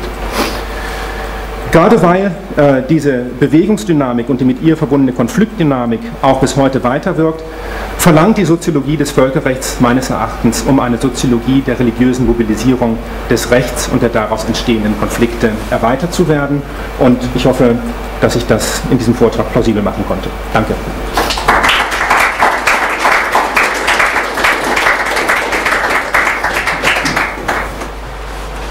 Ja, ich freue mich, dass wir jetzt ähm, in die Gegenwart kommen nach diesem historischen Ausflug und äh, darf Ihnen Frau Jahn vorstellen. Frau Jahn ist wissenschaftliche Mitarbeiterin am Lehrstuhl für Religionswissenschaft an der Ruhr-Universität Bonn und insofern an einem Bochum, Bochum natürlich, der Ruhr-Universität Bochum und insofern an einem der äh, Zentren der interdisziplinären Religionsforschung. Äh, viele Kollegen aus, und Kolleginnen aus der Sektion sind in Bochum. Ich weiß nicht, ob andere aus Bochum jetzt heute hier sind, ähm, aber ich freue mich jedenfalls, dass wir von diesem für unsere Sektion so wichtigen Standort auch Sie als Vertreterin hier haben. Äh, Frau Jahn arbeitet an einem Promotionsprojekt, was die Frage der Rechtswirklichkeit ähm, von Religionsfreiheit zum Thema hat. Es geht nämlich um Religion und Strafvollzug in der Bundesrepublik Deutschland.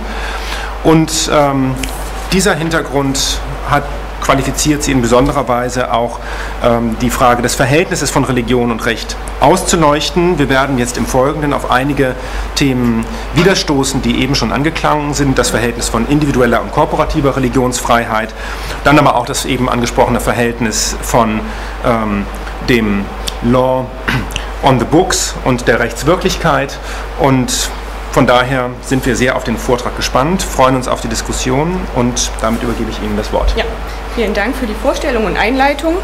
Ähm, zu dem Titel möchte ich noch äh, betonen, dass es sich tatsächlich um ein Fragezeichen handelt.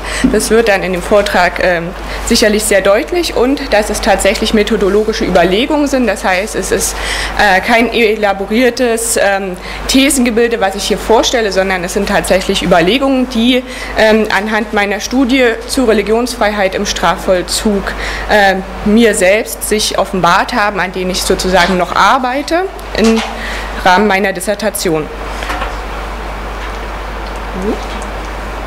Ich habe meinen Vortrag ähm, gegliedert. Äh, zunächst werde ich Ihnen meine Studie äh, vorstellen. Ich werde vorrangig auf das Material eingehen und diese ganzen historischen äh, Punkte und was Religionsfreiheit genau ist, die Gesetzesartikel, das werde ich außen vor lassen. Äh, da bin ich von ausgegangen, dass das weitestgehend bekannt ist. Und dann im zweiten Schritt werde ich die methodologische Reflexion ähm, ausführen. Artikel 4 Absatz 1 und 2 des Grundgesetzes regelt die verfassungsmäßig garantierte Religionsfreiheit. Sie gilt sowohl für einzelne Bürger als auch für religiöse Gemeinschaften. Was im Verfassungstext eindeutig geregelt ist, kann in der Praxis ganz unterschiedlich verstanden und ausgelegt werden. Eigene Fallstudien zur Praxis von Religionsfreiheit in bundesdeutschen Strafvollzügen haben gezeigt, dass die Gewährleistung individueller Religionsfreiheit von dem jeweiligen Einzelfall abhängig ist, die kooperative Religionsfreiheit jedoch generell nur im beschränkten Maße umgesetzt werden kann. So sieht das Grundgesetz im Artikel 141 der Weimarer Reichsverfassung Gottesdienst und Seelsorge im Heer, in Krankenhäusern, Strafanstalten oder sonstigen öffentlichen Anstalten vor. Dieses Verfassungsrecht gilt im Text für alle Religionsgemeinschaften. In der Deutung gilt es für öffentlich-rechtlich anerkannte Religionsgemeinschaften und faktisch umgesetzt wird es fast ausschließlich mit den evangelischen und katholischen Kirchen. Religionsfreiheit ist also nicht nur rechtsdogmatisch zu verstehen, sie ist divers und dynamisch, nicht nur durch ihre historische Genese, sondern auch durch ihre individuelle Auslegung und praktische Umsetzung in konkreten sozialen Situationen. In meiner Studie habe ich mich mit der Institution des Strafvollzugs in Deutschland beschäftigt. Speziell ging es mir darum zu erfahren, wo die Möglichkeiten und Grenzen in der Institution Strafvollzug sind, Religionsfreiheit umzusetzen. Vorrangiges Ziel war es dabei nicht, subjektive Einschätzungen zur Religionsfreiheit, zur Religion allgemein oder religiöser Praxis im Strafvollzug zu untersuchen. Mir ging es vielmehr um die Alltags- und Entscheidungsabläufe bezüglich individueller religiöser Praxis und kooperativer religiöser Vergemeinschaftungsform aus der Perspektive der Anstalt. Das heißt, welche Möglichkeiten werden Insassen gegeben, ihrer religiösen Praxis nachzugehen? Welche Grenzen werden ihnen gesetzt? Und welche Möglichkeiten werden religiösen Organisationen gegeben, Insassen im Strafvollzug zu betreuen, sowie Veranstaltungen ihrer religiösen Tradition entsprechend anzubieten? Und welche Grenzen werden ihnen gesetzt? Dafür habe ich in sechs unterschiedlichen Anstalten Fallstudien durchgeführt. Bei der Auswahl der Anstalten habe ich mich auf den Erwachsenenstrafvollzug für Männer mit Freiheitsstrafen ab drei Jahren konzentriert. Die Anstalten selbst haben sich durch ihre regionale Lage, Größe und ihrem religiösen Angebot unterschieden. Ich war in jeder Anstalt circa eine Woche vor Ort um an alltäglichen Abläufen und Veranstaltungen teilzunehmen sowie Expertengespräche mit verschiedenen Vertretern der Institution zu führen. Neben Insassen und verschiedenen religiösen Akteuren habe ich auch das Vollzugspersonal, die Fachdienste und die Anstaltsleitung interviewt. Maßgebliche Struktur meiner Beobachtung und Interviewleitfäden waren die Dimensionen und Ebenen von Religionsfreiheit, wie sie, wie sie auf der Folie zu erkennen sind. Religionsfreiheit selbst habe ich als Umgang mit religiöser Vielfalt operationalisiert. Das heißt, wie geht der Strafvollzug mit religiöser Vielfalt um? Wo sind die Möglichkeiten der Umsetzung und wo die Grenzen? Herausgekommen sind sechs Anstaltsporträts, die die allgemeinen Charakteristika der Anstalten mit ihren individuellen Besonderheiten beschreiben und speziell auf die religiöse Diversität der Insassenpopulation, das religiöse Angebot der Anstalt sowie auf den Umgang mit religiöser Diversität und den damit verbundenen Grenzen einzugehen. Die Anstaltsporträts zeigen die verschiedenen Dimensionen des Strafvollzugs auf, indem nicht nur die allgemeinen institutionellen Merkmale, sondern auch die exekutiven Aufgaben und die interinstitutionellen Unterschiede im Umgang mit religiöser Diversität betrachtet und herausgearbeitet werden. Die Anstaltsperspektive auf Religionsfreiheit im Strafvollzug ermöglicht es sowohl Rechtspraxis in ihren sozialen Bezügen als auch die Auswirkungen institutioneller Besonderheiten auf das Verständnis von Religion in der Analyse zu berücksichtigen. Doch bevor ich das veranschauliche, ein paar allgemeine Bemerkungen zur Thematik Religionsfreiheit im Strafvollzug. Religionsfreiheit im Strafvollzug gilt zunächst für alle Beteiligten, gleich ob Bediensteter oder Insasse. Für Insassen gelten Grundrechte wie Religionsfreiheit trotz des geltenden Sonderrechtsverhältnisses im Strafvollzug erst seit dem Bundesverfassungsgerichtsentscheid 1972. Nach diesem Entscheid dürfen die Grundrechte von Strafgefangenen nur durch Gesetz oder aufgrund von Gesetz eingeschränkt werden. Das erstmalig 1976 verabschiedete Strafvollzugsgesetz des Bundes trägt diesem Entscheid Rechnung, indem die für den Strafvollzug relevanten Artikel des Religionsverfassungsrechts in das Strafvollzugsgesetz übernommen wurden. So ist das von Martin Heckel als solches bezeichnete weltliche Rahmenrecht auch für den Strafvollzug gegeben. Im Sinne der Funktionen des Grundgesetzes muss der Staat also Religionsfreiheit schützen, aber auch äh, Schranken setzen damit andere Grundrechte sowie die Rechte Dritter nicht beeinträchtigt werden. Die Balance zwischen Schranken und Freiheit gilt es in der Rechtsauslegung und Rechtsanwendung umzusetzen, wobei zu betonen ist, dass der von Heckel gesetzte Rahmen sprichwörtlich durch den jeweiligen Kontext zu füllen ist. Denn resultierend aus dem rechtlichen Rahmen sind Aushandlungen über die rechtlichen Grenzen von Religionsfreiheit nicht selten, durch die erläuterte offene Anlage sogar geboten. Das heißt also für das Verständnis von Religion, dass es in der Rechtsnorm aufgrund des Neutralitätsgebots zunächst keine genaue positivrechtliche Definition davon gibt, was Religion ist. Erst bei der Beeinträchtigung oder Kollision durch Dritte wird mittels Abwägung eine genaue Begriffsbestimmung durch Urteilsschriften nötig. Ein Beispiel aus der Rechtsprechung soll dies verdeutlichen. Ein sich zum Buddhismus bekennender Gefangener hat in seinem Haftraum Räucherstäbchen benutzt, die ihm von einem Bediensteten der Justizvollzugsanstalt ausgehändigt wurden. Im Urteil heißt es, sein Antrag auf gerichtliche Entscheidung vom 20. Januar 2006, ihm erneut Räucherstäbchen zur Abhaltung seiner buddhistischen Gebete auszuhändigen, hat die Strafvollstreckungskammer abgelehnt. Unter anderem argumentiert das Gericht, dass es sich bei den Räucherstäbchen nicht um Gegenstände des religiösen Gebrauchs handle.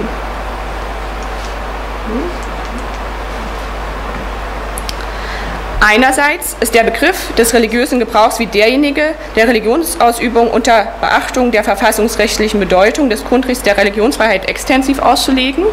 Andererseits fehlt in den meisten Fällen des Abbrennens von Räucherstäbchen offenkundig jegliche religiöse Verbindung. Denn diese finden im alltäglichen Leben verbreitet Anwendung, um eine angenehme Atmosphäre zu verbreiten, ohne dass eine religiöse Beziehung besteht. Die Frage bedarf aber keiner abschließenden Erörterung, da der Antrag des Gefangenen auch dann erfolglos bleiben muss, wenn man Räucherstäbchen, was eher fernliegend ist, als Gegenstand religiösen Gebrauchs ansehen würde. Denn für das buddhistische Gebet erforderliche äh, Meditative, ähm, bei der Räucherstäbchen im Buddhismus Verwendung finden kann, der Gefangene auch ohne Benutzung dieser Stäbchen erlernen. Auch wenn also in diesem Beispiel nicht explizit definiert wird, was Religion ist, stellt die Abqualifikation von Räucherstäbchen als Gegenstände des religiösen Gebrauchs eine Negativdefinition von Religion dar. Die Frage, inwiefern die Urteile im Strafvollzug umgesetzt werden und können, ist mit der judikativen Auslegung jedoch nicht, noch nicht beantwortet. Im Rahmen meiner Forschung stelle ich schnell fest, dass es unterschiedliche Praktiken gibt, Religionsfreiheit im Strafvollzug umzusetzen. Dies betrifft vor allem das Verständnis der Notwendigkeit bestimmter religiöser Praktiken, aber auch die Zulassung religiöser Organisationen im Strafvollzug. Um diese Unterschiede plastisch darzustellen, möchte ich Sie auf eine fiktive Reise des Häftlings Ahmad mitnehmen. Mein fiktiver Häftling Ahmad ist 25 Jahre alt und wurde in Deutschland geboren. Seine Eltern kommen aus, aus Algerien. Ahmad ist von Geburt an Muslim, hatte sich aber noch nie mit dem Glauben seiner Eltern auseinandergesetzt. Zu Anfang der Haft lernt Ahmad Nadim kennen. Nadim ist schon vor seiner Haftzeit regelmäßig in die Moschee gegangen, hat gefastet und im Koran gelesen. Ahmad fühlt sich durch den älteren Nadim an seine Familie und Kindheit erinnert und beginnt sich mit den religiösen Wurzeln seiner Familie auseinanderzusetzen. Während seiner Haftzeit wird er in unterschiedlichen Strafvollzugsanstalten untergebracht. Ahmad, seine erste Anstalt, befindet sich in einer Bischofsstadt im südlichen Raum von Deutschland.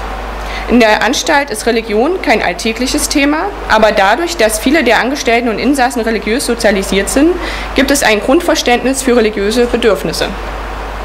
Als sich Ahmad dazu entschließt, sich mit dem Glauben und den unterschiedlichen Praxen auseinanderzusetzen, möchte er einen Koran in arabischer Schrift und einen Gebetsteppich bekommen, sowie sich halal ernähren. Außerdem möchte er Kontakt zu einem örtlichen Imam aufnehmen, der ihn nicht nur im Strafvollzug betreuen, sondern auch im Kennenlernen seiner Religion begleiten soll. Nadim hatte ihm die Hausordnung der Anstalt gezeigt und gesagt, dass er auf diese Sachen ein Recht habe, weil er ein Muslim ist. Die Hausordnung bezieht sich auf das Strafvollzugsgesetz des Landes, das wiederum an die Bestimmung des Grundgesetzes gebunden ist. Entsprechend der Bestimmung sei Ahmad die Möglichkeit zu gewähren, die Speisevorschriften seiner Religionsgemeinschaft zu befolgen. Auch dürfe ihm religiöse Betreuung durch einen Seelsorger oder eine Seelsorgerin seiner Religionsgemeinschaft nicht versagt werden. Auf seinen Wunsch hin ist ihm zu helfen, mit einem Seelsorger oder einer Seelsorgerin seiner Religionsgemeinschaft in Verbindung zu treten. Er dürfe auch grundlegende religiöse Schriften besitzen. Sie dürfen ihm nur bei grobem Missbrauch entzogen werden.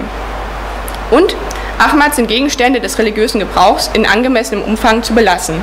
Er müsse nur, so Nadim, dem Stationsbeamten sagen, dass er Muslim sei, sodass das in seiner Gefangenenakte vermerkt werde. Für seine Anliegen müsse er Anträge an die Vollzugsabteilungsleitung äh, schreiben. Nachdem Ahmad dieses getan hat, bekommt er binnen einiger Wochen Rückmeldung zu seinen Anträgen. Unkompliziert und schnell wurde er bei der Essensversorgung umgetragen. Das heißt, Ahmed bekommt nun täglich muslimische Kost, Muko genannt. Wenn er allerdings zum Ramadan fasten möchte, müsste er dies noch einmal extra beantragen, da hier eine andere Stelle für die Organisation zuständig sei. Das sei aber kein Problem, denn die Muko und die Ramadan-Regelung seien vom Ministerium vorgegeben. Den Koran sowie andere Bücher zum Islam kann er in der anstaltseigenen Bibliothek ausleihen. Selbst ein Koran seiner Familie dürfe er nach einer eingehenden Sicherheitsprüfung benutzen. Ein Gebetsteppich könne er allerdings nicht äh, bekommen, da dies im Koran nicht eindeutig vorgeschrieben sei. Hierfür habe sich der leitende Sicherheitsbeauftragte der Anstalt bei einer entsprechenden kirchlichen Stelle informiert. Als Ansprechpartner für seine religiösen Belange werde er an einen dafür zuständigen Sozialarbeiter verwiesen sowie auf die Gefängnisseelsorger der JVA. Es gebe zwar einen Hotscher, der einmal monatlich in die Anstalt kommt, aber dieses Angebot gelte aus organisatorischen und sicherheitsrelevanten Gründen nur für türkische Insassen. An den großen Festen dürfe er aber auch teilnehmen. Einen anderen Imam könne die Anstalt nicht anbieten, da es in der Region zu wenig Muslime gebe, die nicht türkische Wurzeln haben. Also hier ist nochmal der Ablauf der Vorschriften und hier von der ersten Anstalt die Ergebnisse. Da Ahmad eine Berufsausbildung machen möchte, die in seiner Anstalt nicht angeboten wird, werde er in eine Anstalt im Norden von Deutschland verschubt. Hier gibt er gleich beim Aufnahmegespräch an, dass er Muslim ist. Trotz dessen muss er seinen Familienkoran abgeben, weil aus Sicherheitsgründen keine anstaltsfremden fremdsprachigen Bücher erlaubt sind. Muko bekommt er ohne Probleme. Auch darf er auf eigene Kosten einen Gebetsteppich erwerben, der ihm aber im Laufe der Zeit wieder weggenommen wird, weil sich die Anstalt nicht sicher ist, ob Gebetsteppiche aus Sicherheitsgründen zulässig seien oder nicht. Trotz dessen, dass die Anstalt in einer der großen deutschen Städte gelegen ist, die eine große muslimische Community hat, gäbe es derzeit kein religiöses Angebot für muslimische Insassen, da die Anstalt Probleme habe, ein kontinuierliches Angebot zu installieren. Also Anstalt 2. Als Ahmad mit seiner Berufsausbildung fertig ist, stellt er einen Antrag auf heimatnahe Verlegung. Er kommt in eine Anstalt im östlichen Raum Deutschlands. In der Anstalt bekommt Ahmad auf Antrag seinen Familienkoran und seinen Gebetsteppich zurück. Auch bekommt er Muko und darf zum Ramadan fasten, wie in den vorhergehenden Anstalten auch. Aber auch in dieser Anstalt bekommt er keine seelsorgerliche Betreuung gemäß seiner Religion. Denn in der Region sei kein Imam ansässig und der Imam aus der Hauptstadt möchte eine Aufwandsentschädigung haben, die nicht gezahlt werden könne. Außerdem würden sich die Gefängnisseelsorger als zuständige Ansprechpartner weigern, die Besuche des Imams zu organisieren, weil sie nicht einschätzen können, für wen sie bürgen würden. Die Strukturen im Islam seien so undurchschaubar und wenn was schiefginge, würden sie verantwortlich sein, weil der Imam keinen offiziellen Status für die Arbeit in der Anstalt habe. Ahmad könne aber selbstverständlich an anderen religiösen Veranstaltungen der Anstalt teilnehmen, wenn er dies wollte. Dies betrifft zuallererst das Angebot der evangelischen und katholischen Gefängnisseelsorge. Es gebe aber auch den Alpha-Kurs der christlichen Mission Joshua. Der Kurs sei zwar keine religiöse Veranstaltung, aber im Rahmen eines sozialen Trainings werden christliche Werte vermittelt. An dieser Stelle hört die fiktive Reise von Ahmad durch die drei Anstalten auf. Was hier anhand der drei Anstalten exemplarisch dargestellt wurde, gilt in den Tendenzen auch für die anderen untersuchten Anstalten. Die Reise zeigt, dass das Verfahren im Umgang mit individuellen religiösen Bedürfnissen der Insassen gleich, die Entscheidungen in den einzelnen Anstalten aber unterschiedlich sind. Hinzu kommt die unterschiedlichen Begründungen, bestimmte Anliegen zuzulassen oder zu verwehren. Bezüglich der kooperativen Religionsfreiheit wird anhand muslimischer Vergemeinschaftungen dar dargestellt, welche Probleme sich im Strafvollzug ergeben, wenn Insassen Betreuung und Begleitung wünschen. Meine bisherigen Ausführungen zur Religionsfreiheit im Strafvollzug haben den legislativen Rahmen, judikative Deutung und den exekutiven Umgang verdeutlicht. Es wurde gezeigt, dass die religionsverfassungsrechtlichen Regelungen des Grundgesetzes in das Strafvollzugsgesetz des Bundes bzw. aktuell auch der Strafvollzugsgesetze der Länder übernommen werden. Der dadurch gesetzte verfassungsrechtliche Rahmen lässt einerseits großen Handlungsspielraum, die allgemeinen Marker von Religionsfreiheit in der Rechtsprechung zu deuten und in der konkreten Situation umzusetzen. Es zeigt sich, Ebenfalls, dass die allgemeinen gesellschaftlichen Problemfelder in der Deutung und Umsetzung von Religionsfreiheit auch im Strafvollzug auftreten, begonnen bei der Frage, ab wann eine religiöse Organisation eine Religionsgemeinschaft im Sinne des öffentlichen Rechts darstellt, bis hin zu der Frage, was eine religiöse Praxis im rechtlichen Verständnis auszeichnet. Diese Fragen muss wahrlich nicht der Rechtstext beantworten. Auch ist dies durch die Neutralität des Staates gegenüber religiösen und weltanschaulichen Traditionen nicht geboten. In der Rechtspraxis Praxis zeigt sich aber sehr wohl, dass trotz des offenen Rahmens ein eindeutiges Verständnis von einer Religionsgemeinschaft und einer religiösen Praxis vorliegt. Nämlich dann, wenn entschieden werden muss, ob, wie im Fall des Strafvollzugs gezeigt, der Insasse ein Anrecht auf seelsorgerliche Betreuung, einen Gebetsteppich oder Räucherstäbchen hat. So gelten Räucherstäbchen nicht als religiös, sondern säkular, da sie dem alltäglichen Gebrauch zugeordnet werden. Gebetsteppiche werden als religiös wahrgenommen, aber nicht immer als grundlegend genug, um sie in eine notwendige religiöse Praxis einzuordnen. Religiöse Organisationen werden als säkular wahrgenommen, wenn sie vermeintlich dem Vollzugsziel der Resozialisierung dienen Religiöse Organisationen werden nicht zugelassen, wenn sie zwar als solche wahrgenommen werden, aber nicht in das vorgegebene Muster der Körperschaft des öffentlichen Rechts passen. Ebenso wird die Institution der Gefängnisseelsorge als christliches Konzept der Betreuung und Begleitung von Insassen favorisiert. Andere Formen der Seelsorge werden entweder nicht als religiös wahrgenommen oder als nicht ausreichend betrachtet. Das heißt, von Fall zu Fall, von Anstalt zu Anstalt wird neu verhandelt, was Religion und was Recht ist. Neben den Schrankenregelungen und dem Sonderrechtsstatus die Institution betreffend, kann nur über Religionsfreiheit entschieden werden, wenn etwas als grundlegend religiös bzw. nicht religiös klassifiziert wird. In dem speziellen Fall des Strafvollzugs wird dies besonders deutlich, weil religiöse Organisationen keinen Zutritt ohne Erlaubnis bekommen und Insassen für jegliche Belange Anträge zu stellen haben. Die Reglementierung der sogenannten totalen Institution also nur durch eindeutige Zuschreibung bestehen kann.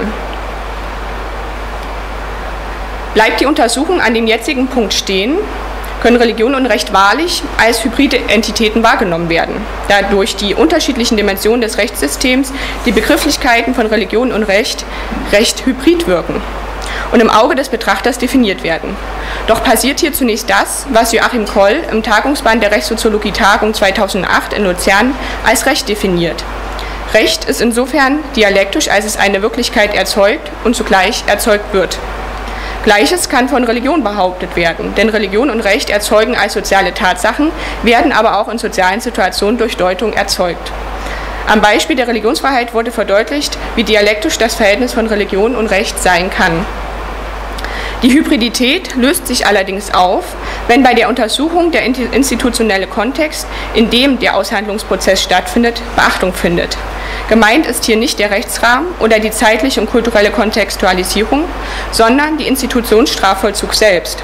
Das heißt, ausgehend von den empirischen Erkenntnissen, die in der fiktiven Geschichte von Ahmad verdichtet dargestellt wurden, ist zu untersuchen, welche Deutungsmöglichkeiten innerhalb des Strafvollzugs vorherrschend sind. Neben dem religiösen und rechtlichen Rahmen kommt so der institutionelle Kontext hinzu. Der bestimmte Kontext, der im Fall des Strafvollzugs zu berücksichtigen ist, wird unter anderem durch die Aufgaben des Vollzugs definiert. Sie bestehen darin, den Gefangenen zu befähigen, ein Leben in sozialer Verantwortung und ohne Straftaten zu führen. Darüber hinaus soll durch die Freiheitssetzung die Allgemeinheit präventiv und aktiv vor weiteren Straftaten geschützt werden. Auf die Thematik des Umgangs mit Religion im Strafvollzug angewandt ist zu fragen, inwiefern das religiöse Angebot und die religiöse Praxis zu den Vollzugszielen der Resozialisierung und Sicherung beitragen können. Aus der Perspektive der Anstalt bedeutet das zu entscheiden, ob das vom Insassen beantragte Bedürfnis bzw. das Anliegen religiöser Organisationen im Strafvollzug tätig zu werden positiven Einfluss auf das Vollzugsziel hat. Die Wahrnehmung von Religion wird also weniger von dem rechtlichen Rahmen und religiösen Verständnis, sondern vornehmlich durch die Brille der Strafvollzugsaufgaben bestimmt. Die Etablierung des christlichen Missionswerk Joscha und die Ablehnung von Zeugen Jehovas macht dies deutlich. Also hier nochmal die Zusammenfassung des methodologischen Einstiegs. Jetzt die zwei Beispiele. Das christliche Missionswerk Joshua bietet den Alpha-Kurs in der dritten Anstalt des fiktiven Häftling Ahmad an. Der Alpha-Kurs beschäftigt sich mit christlichen und gesellschaftlichen Werten und wird aus Anstaltsperspektive als ein sozialer Trainingskurs wahrgenommen. Allgemein ist der Alpha-Kurs als praktische Einführung in den christlichen Glauben bekannt. Die religiöse Organisation selbst versteht sich als christlich, indem die Mitglieder an Jesus Christus als Heiland und Erlöser für unsere Welt glauben. Die Anstaltsperspektive auf den Alpha-Kurs und das christliche Missionswerk Joshua wird trotz des eindeutig religiösen Verständnisses der Organisation und ihres Angebots vor allem auf das Vollzugsziel hin ausgerichtet als sozial verstanden. Ich zitiere den Anstaltsleiter.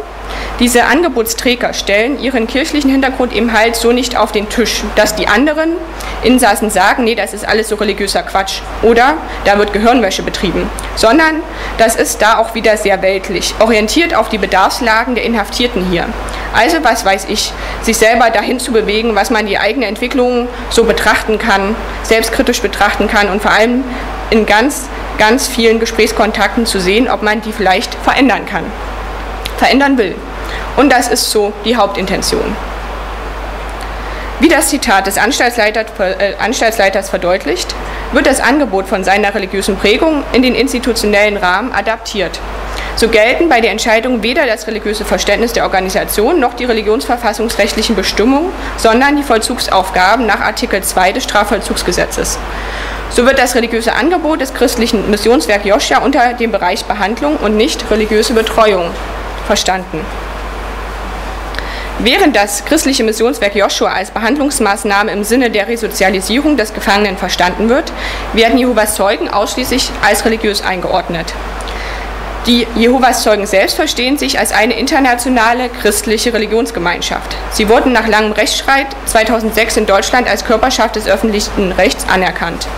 De facto habe sich aber durch den Körperschaftsstatus für ihre Tätigkeit nichts geändert und die Praxis in den Anstalten sei gleich geblieben, erläutert ein ehrenamtlich arbeitender Zeuge Jehovas. Ich zitiere ihn. Wir sind ja eigentlich, wie gesagt, seit 2006 Körperschaft des öffentlichen Rechts und hätten da eigentlich die Möglichkeit, wirklich als Seelsorger mit tätig zu sein. Früher ist das eigentlich mehr geduldet worden in dem Sinne. Aber jetzt haben wir einen Anspruch drauf und trotzdem funktioniert das in der Regel nicht so. Da es keine offiziellen Vereinbarungen zwischen der religiösen Organisation und dem Staat gibt, sind Zeugen Jehovas in deutschen Strafvollzügen ausschließlich ehrenamtlich und im Rahmen von Besuchen tätig. Deshalb kommen sie auch in der fiktiven Reise von Ahmad durch drei bundesdeutsche Anstalten nicht vor.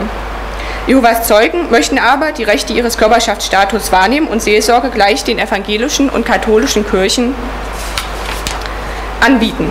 Doch das wird flächendeckend weder von den Ministerien noch von den Anstaltsleitern gebilligt. Als Begründung wird auch Paragraph 2 des Strafvollzugsgesetzes angeführt, wie ein Anstaltsleiter verdeutlicht. Also ich würde zum Beispiel nicht, das Anliegen gab es nämlich schon von Zeugen Jehovas, ich würde nicht zulassen, dass sie dann vom Haftraum zu Haftraum gehen, so wie das draußen passiert, von Haustür zu Haustür, und dann quasi die Gefangenen darauf ansprechen, dass man doch mit ihnen über was auch immer sprechen will. Also da hat es im Vollzug auch schnell den Charakter, dass Gefangene nicht irgendwelchen Dingen ausgesetzt werden sollten, die sie draußen auch nicht hinnehmen müssten. Sicherheit wird hier nicht im Sinne des Schutzes der Bevölkerung vor kriminellen Aktivitäten verstanden, sondern als eine konkrete Gefährdung für die Insassen, die ebenfalls schutzbedürftig sind. Als sicherheitsgefährdend wird hier die allgemeine Missionstätigkeit Zeugen Jehovas angeführt, die Mitglieder im Rahmen ihres Verkündigungsdienstes absolvieren. Ich komme zu meinem kurzen Fazit. In meinem Vortrag habe ich Ihnen anhand meiner Studie zur Religionsfreiheit im Strafvollzug meine methodologischen Überlegungen zu Religion und Recht veranschaulicht. Es wurde deutlich, dass die, bloßen, die bloße Verhältnisbestimmung von Religion und Recht nicht ausreichend ist, sondern es einer Kontextualisierung bedarf. Es ist also zu schauen, in welchem Kontext Aushandlungsprozesse zwischen Religion und Recht stattfinden. In meinem Fall handelt es sich um eine feststehende Institution, deren Deutungsmöglichkeiten zu berücksichtigen sind. Religion und Recht manifestieren sich so auf der Mesoebene. Die Wechselwirkung findet also nicht nur zwischen Religion und Recht, sondern auch zwischen Religion, Recht und X oder eventuell auch x hoch n statt. Zu überlegen wäre, meines Erachtens, ob in allen Konstellationen, in denen Religion und Recht aufeinandertreffen, Bezugsgrößen vorzufinden sind, die bei der Analyse zu berücksichtigen wären.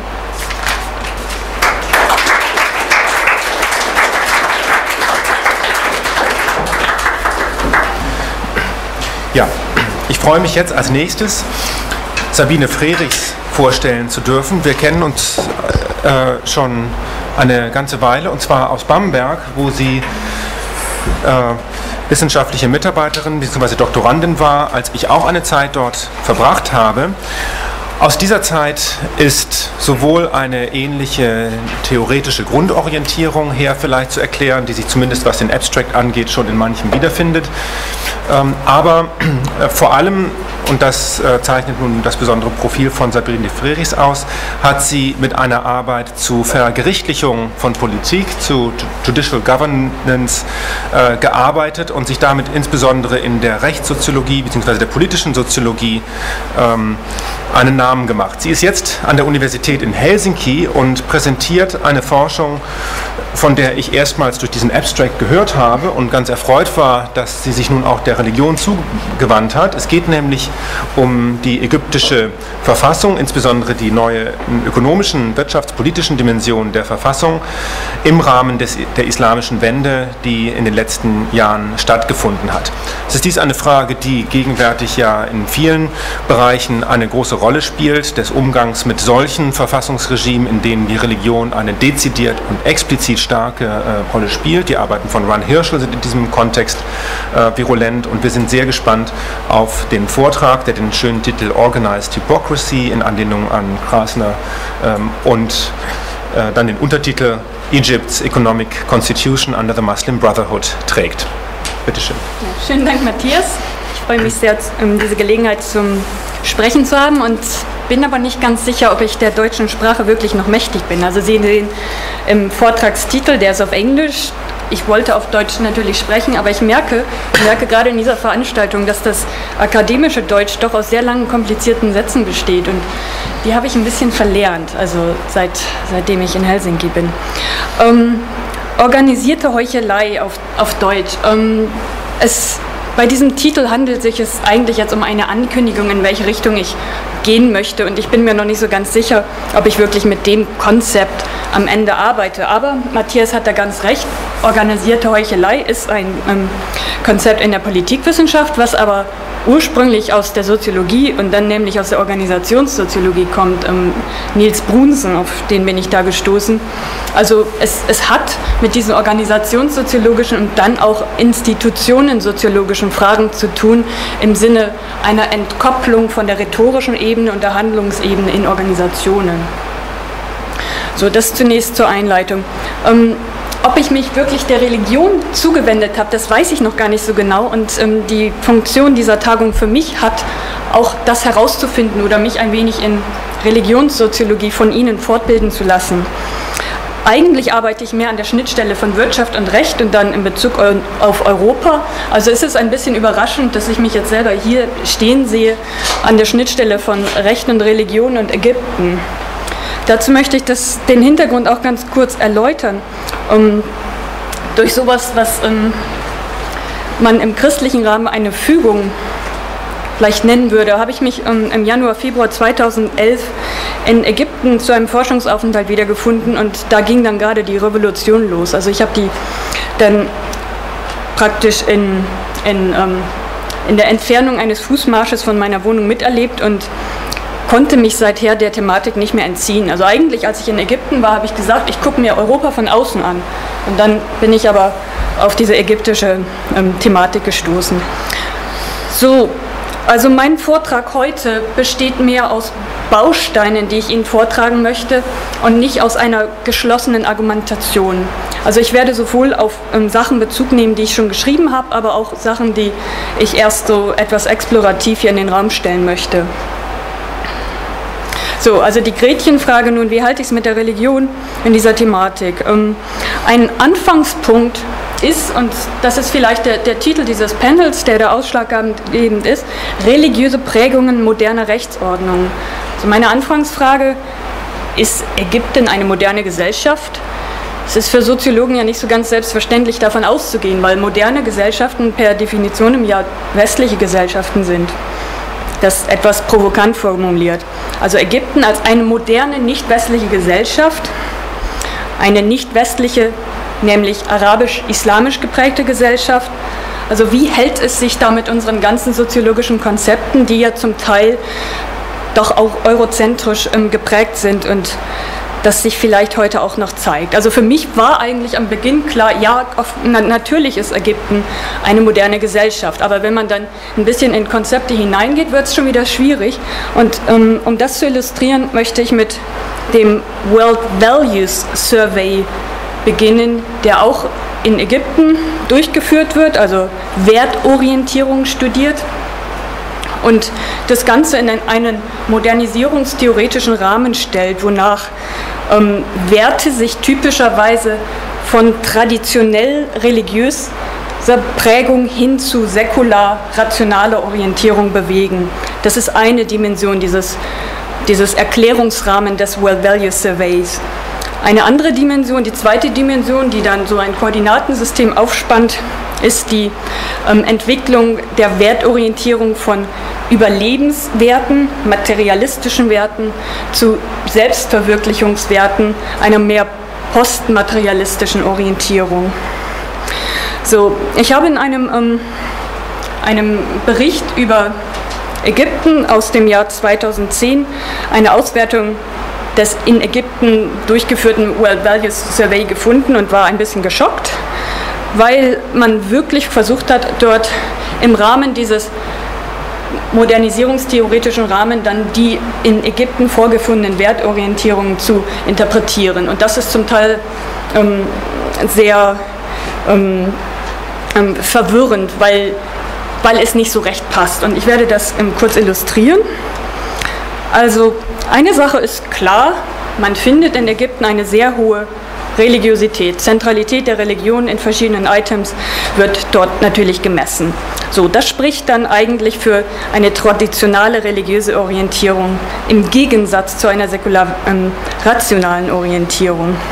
Nun ist es aber so, dass ähm, ähm, zum Beispiel in Ägypten auch ein sehr hohes, ähm, ein, eine sehr hohe ähm, ein sehr hohes Commitment zur Demokratie gemessen wurde, obwohl es die ja eigentlich nicht gab. Also 2010 vor der Revolution. Also höhere, höhere Werte als eigentlich in den westlichen Demokratien, was dann erklärt werden kann, ja, wenn es das nicht gibt, dann will man es umso mehr. Also das, da gibt es sehr hohe Werte. Nur ähm, wo sie noch niedrig waren, war in Aktivitäten, die eben demokratischen Inhalts sind, wie zu Demonstrationen gehen oder Petitionen unterschreiben oder sowas. So, also wir haben hier schon mal so einen kleinen Konflikt zwischen ähm, traditionellen und, und eher modernen liberalen Orientierungen.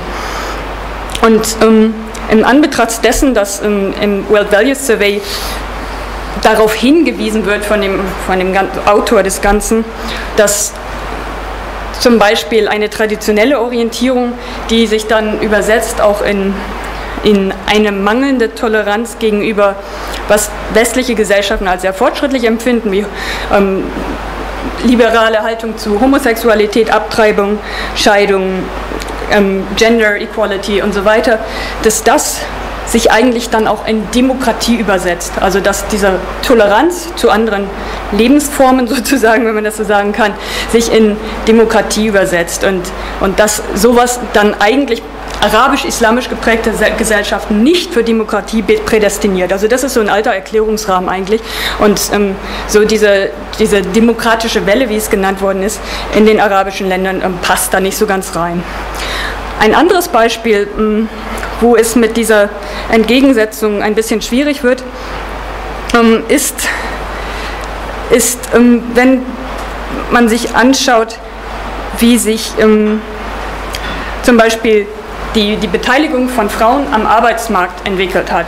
Dann kann man sagen, dass in der sozialistischen Phase Ägyptens ähm, so, es so einen Trend nach oben gab und dass natürlich also die Integration der Frauen in den Arbeitsmarkt dann auch ähm, politisch unterstützt wurde. Aber dann so in den 80er, 90er Jahren, wo es dann eigentlich die offizielle ähm, Liberalisierung in eine kapitalistische Richtung gab, dass es dann zur gleichen Zeit und im, im Wechselspiel eigentlich auch so einen ähm, Aufschwung einer more, mehr traditionalistischen, islamisch-konservativen Haltung gab. Also dass, dass es dann wiederum hieß von bestimmten Seiten, dass Frauen eigentlich auf dem Arbeitsmarkt nichts zu suchen haben. Also wenn man sich jetzt die Entwicklung ähm, weiblicher Beschäftigung anschaut, dann kann man das nicht einfach auf kulturelle oder traditionelle Prägung oder religiöse Prägung schieben, sondern man muss sich dieses Wechselspiel zwischen sozialistisch, kapitalistisch, islamisch anschauen. So, das, das verkompliziert natürlich diese sehr vereinfachten Beobachtungen in diesem World Values Survey.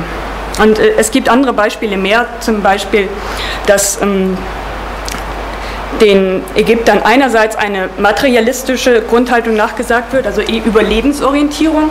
Ich brauche einen Job und es geht mir nicht so sehr um die Selbstverwirklichung im Job, ganz klar, aber andererseits, dass eine geringe Sparquote beispielsweise darauf hindeutet, nicht auf Armut oder sowas, sondern dass sie doch eine konsumistische Haltung bereits angenommen haben, dass sie ihr Geld verschwenderisch für Konsumzwecke ausgeben. So, also ich, ich ende hier mit, mit diesem ähm, Ausflug zum World Values Survey ganz einfach als, als, als Einstieg für so ein modernisierungstheoretischer Erklärungsrahmen für Ägypten hat doch so seine Defizite. So kommen wir ein bisschen genauer zum Recht und zum Verhältnis von Recht und Religion.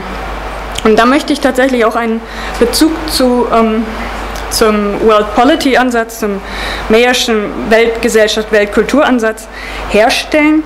Und zwar geht es jetzt ganz konkret darum, dass als ich in Ägypten war und diese Revolution miterlebt habe und mir so angeschaut habe, ähm, was Mubarak in seinen Fernsehansprachen an die Nation gesagt habe, dass ich dadurch sehr überrascht war, wie stark der Verfassungsdiskurs ausgeprägt war. Also nicht nur von den Revolutionären, sondern auch von dem ähm, amtierenden Präsidenten. Und das hat mich dann ähm, beim drüber nachdenken doch sehr daran erinnert, dass das ein Beispiel dieser weltpolitischen Verbreitung einer bestimmten liberalen Verfassungsrhetorik sein kann, während natürlich eine Entkopplung dann auf der Ebene dessen zu beobachten ist, was tatsächlich stattfindet. Also was tatsächlich stattfand, war dieses Notstandsrecht über, über Dekaden, während ähm, Mubarak in seinen Fernsehansprachen den Schutz des Verfassungsstaates, den Schutz des Rechtsstaates ähm, fördern wollte, wo er auf, die, auf die, das Recht auf freie Meinungsäußerung und Demonstration im Rahmen des Rechts hingewiesen hat. Also es findet seine Grenzen in der Rule of Law wo er Law and Order bemüht hat natürlich und wo er letztlich, und das, das kam mir am ironischsten vor, ähm, gesagt hat, es kann nicht so einen schnellen Wechsel geben, weil Verfassungsänderungen, die er dann vorgeschlagen hat in einer der Fernsehansprachen, ihre Zeit brauchen. also er hat so ein prozeduralrechtliches Argument dann eingeschoben dafür, dass, man, dass er nicht zurücktreten kann, sondern dass, dass man sich die Zeit für einen ordentlichen rechtlichen Verfassungsänderungsprozess geben muss und so weiter. Und, und, und Sie wissen, wie das geendet hat. Also in dieser dritten Fernsehansprache von Mubarak, einen Tag vor seinem tatsächlichen Rücktritt, haben die Ägypter ihre Schuhe in die Höhe gehalten, um ihm ganz deutlich ihren, ihren, ähm, ihren Missmut auszudrücken. So, also das war mein erster Einstieg in, in etwas, was, was man ein bisschen soziologisch theoretisieren könnte. Der nächste Einstieg war dann zu theoretisieren, was eigentlich Verfassung und Verfassung aus ähm, einer mehr materiellen, substanziellen, soziologischen Sicht in Ägypten gemeint haben. Und ich habe dann ein Papier geschrieben, was ähm, einen Clash of Constitutions ähm, behauptet hat, den ich ganz kurz illustrieren möchte. Ähm, ausgehend von Max Weber können wir verschiedene Idealtypen unterscheiden. Sie kennen die Idealtypen sozialen Handelns, traditionales Handeln, affektuelles Handeln, wertrational, zweckrational, also diese Idealtypen, die, die helfen uns bestimmte, bestimmte Handlungsorientierungen zu verstehen. Idealtypen gibt es auch ähm, für legale Herrschaft oder Legitimität und es gibt Idealtypen von Max Weber selbst formuliert, auch für Recht. Und kleiner, kleiner ähm, Ausschnitt am Rande, also das Kadi-Recht in, in, seinen Worten oder Scharia-Law wäre dann irrationales, ähm, materielles Recht im Unterschied zum formalen, rationalen westlichen Recht.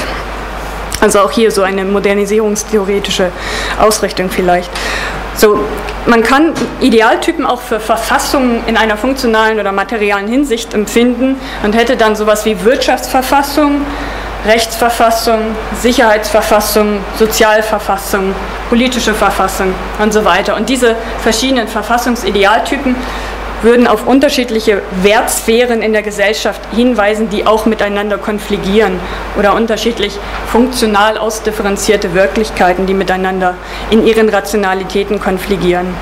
So, das, das alles hatte man und ich habe und man kann diesen Clash of Constitutions dann auch quasi in der Revolution, in dem Aufstand verwirklicht sehen, dass die Verfassungstypen, die eigentlich ähm, die Werthaltung der Bevölkerung ausdrücken oder großer Teile der Bevölkerung, nicht mit den Verfassungstypen, die die Diktatur aufrechterhalten haben, ähm, übereinstimmen. Also quasi die Sicher das Sicherheitsregime und die politische Verfassung sind in einem ganz deutlichen Clash da gewesen. Das andere, was man mit dem Verfassungsbegriff machen kann, wenn man soziologisch argumentiert, ist ähm, Living Constitution, was, was direkt von, von dem, ich habe jetzt gerade gelernt, dass es gelebtes Recht und nicht lebendiges und nicht, nicht lebendes Recht heißt auf Deutsch. Ähm, also Living Constitution ist, ist genau das, was man dann soziologisch beobachten könnte, also dass das, was eigentlich die, die Werthaltung der Bevölkerung ausdrückt, dass das dann auch nochmal was anderes ist als das formale und auch das materielle Verfassungsrecht. So, und, und, und von meinem Empfinden war Living Constitution das, was man in Ägypten erlebt hat und was man auf dem Tahrirplatz erlebt hat. Also dass da eigentlich eine, eine Werteordnung ähm, realisiert ähm, worden ist, die natürlich auch in den Köpfen der Leuten schon immer da war, aber dass die sich dann quasi gegen die, die Ordnung des Regimes hat durchsetzen können.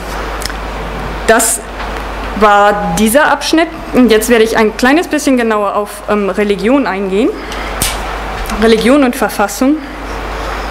Weil ein Einstieg in, in, meine Fragestellung Recht und Religion im heutigen Ägypten natürlich sein muss, wie war es vorher? Also jetzt haben wir ähm, die Muslimbruderschaft und, und Morsi ähm, an der Spitze und sehr viel Aufregung ist dadurch entstanden, dass in dieser neuen Verfassung, die ähm, Ende letzten Jahres ja unter sehr pressierten Umständen durchgedrückt worden ist, dass ähm, da drin steht, dass das Prinzip, ähm, das islamische Law das Prinzip, ähm, ich lese das mal genauer, das, das, also Islam ist die Religion des Staates, die Prinzipien der islamischen Scharia sind die, sind die Prinzipien der Rechtgebung.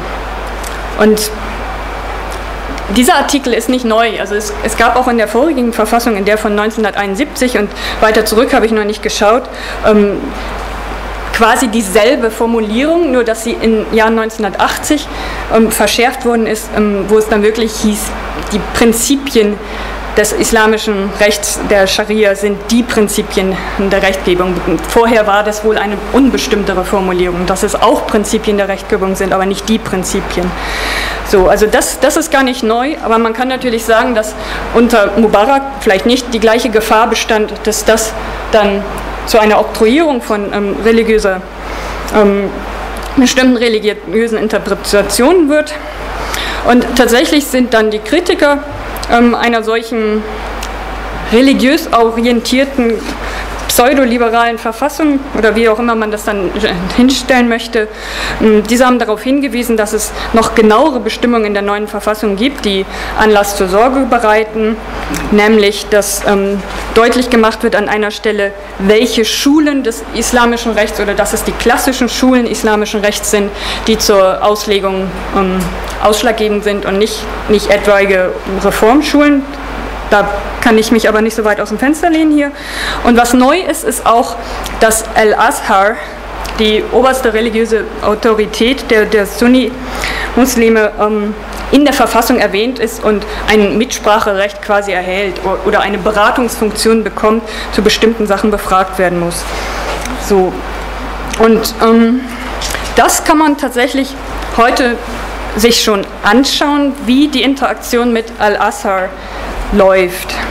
Und darauf möchte ich jetzt ganz kurz in, in zwei ganz aktuellen Beispielen eingehen, die dann auch noch genauer ähm, erforscht werden müssten. Das eine ist der ähm, IWF-Kredit, der gegen, gegenwärtig unter Verhandlung steht. Also seit zwei Jahren laufen ja schon Verhandlungen zwischen Ägypten und der jeweiligen Führung und dem Internationalen Währungsfonds darüber, ähm, ob Ägypten so einen Kredit gewährt werden soll. Und Konditionen so ein bisschen, bisschen mit Fragezeichen, weil das nicht so richtig öffentlich gemacht wird, aber einiges ist natürlich klar, in welche Richtung ähm, Reformen gehen müssten, um diesen Kredit zu erhalten. So, in der Auseinandersetzung zwischen Recht und ähm, zwischen, sagen wir, säkularen und religiösen ähm, ähm Parteien in Ägypten spielt dieser IWF-Kredit auch eine Rolle. Also zum Beispiel in diesem Fall die Salafisten, aber vor einem Jahr habe ich einen Eintrag gefunden, auch, auch ähm, Muslimbruderschaft-Mitglieder ähm, haben darauf hingewiesen, dass so ein Kredit Wucherei, Zinswucherei bedeutet und deswegen ähm, verboten sein müsste. Und dass El-Assar quasi das dann auch sagen müsste, das geht nicht und dass die Regierung darauf dann auch hören müsste. Das ist ganz, ganz einfach gesagt. Also das ist ein Beispiel, da, da wird eben auch auf dem Gebiet der Religion gekämpft, mehr säkulare Kräfte. Ein bekannter Arbeitsrechtler, Khaled Ali, ähm, macht das auf einer Legalitätsebene, dass er sagt, ähm, so ein Kredit kann jetzt nicht abgeschlossen werden, weil es ja gar kein, ähm, weil, weil die eine Kammer dieses Zwei-Kammern-Parlaments ja gar nicht da ist. Also im Moment ist nur der Shura Council, der Shura-Rat am Arbeiten und eigentlich die Budgethochheit liegt bei der normalen Kammer des Parlaments und das ist ja derzeit aufgelöst. Also hier so ein, ein Thema. Ein anderes Thema, was ich erwähnen möchte, ist ähm,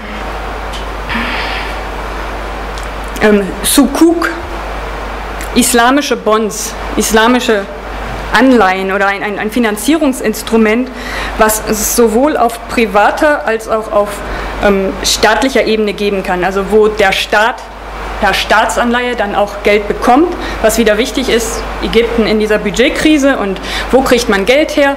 Und man kriegt Geld vielleicht aus den arabischen Ländern, wo viel Geld zu haben ist, aber wo dann eine Orientierung auch an islamischen ähm, Finanzierungsinstrumenten höher ist. Und das war in Ägypten noch überhaupt nicht da. Ich glaube, die haben gesagt, irgendwie bei 5 Prozent sind solche islamischen Instrumente und sie wollen das jetzt auf 50 Prozent hochtreiben. So, und das Interessante jetzt hier im Punkto organisierte Heuchelei oder wie auch immer man das dann theoretisch rahmen möchte, ist, dass es dass einerseits natürlich ähm, der Versuch gemacht wird, jetzt mit der Legitimation des Islams zu arbeiten. Also dass man sagt, ähm, dieses Instrument ähm, unterliegt nicht oder, oder ist nicht, kann nicht gebrandmerkt werden als Zinswucherei, sondern es hat eine andere Finanzierungsform, die von gewissen islamischen Kräften eben als, als, als akzeptiert ähm, ähm, bezeichnet werden kann. So, so, das ist das eine. Also da versucht man eben diese islamische Legitimation ähm, zu beziehen.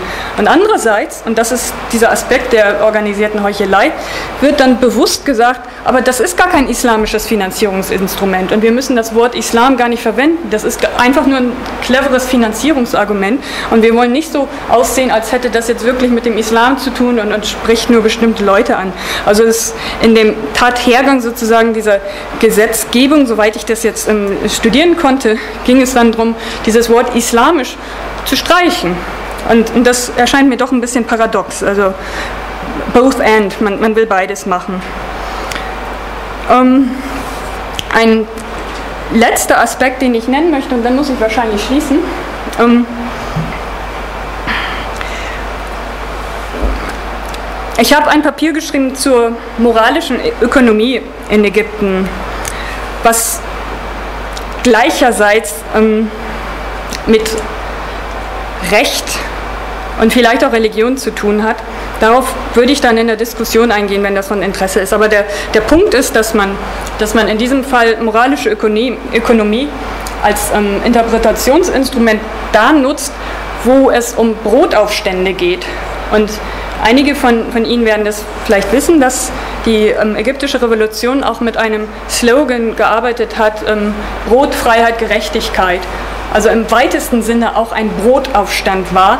Und in, in, in diesem ähm, in der Perspektive moralischer Ökonomie geht es darum, dass es um das Recht auf Brot oder das Recht auf, auf ähm, ähm, Lebensunterhalt sozusagen geht.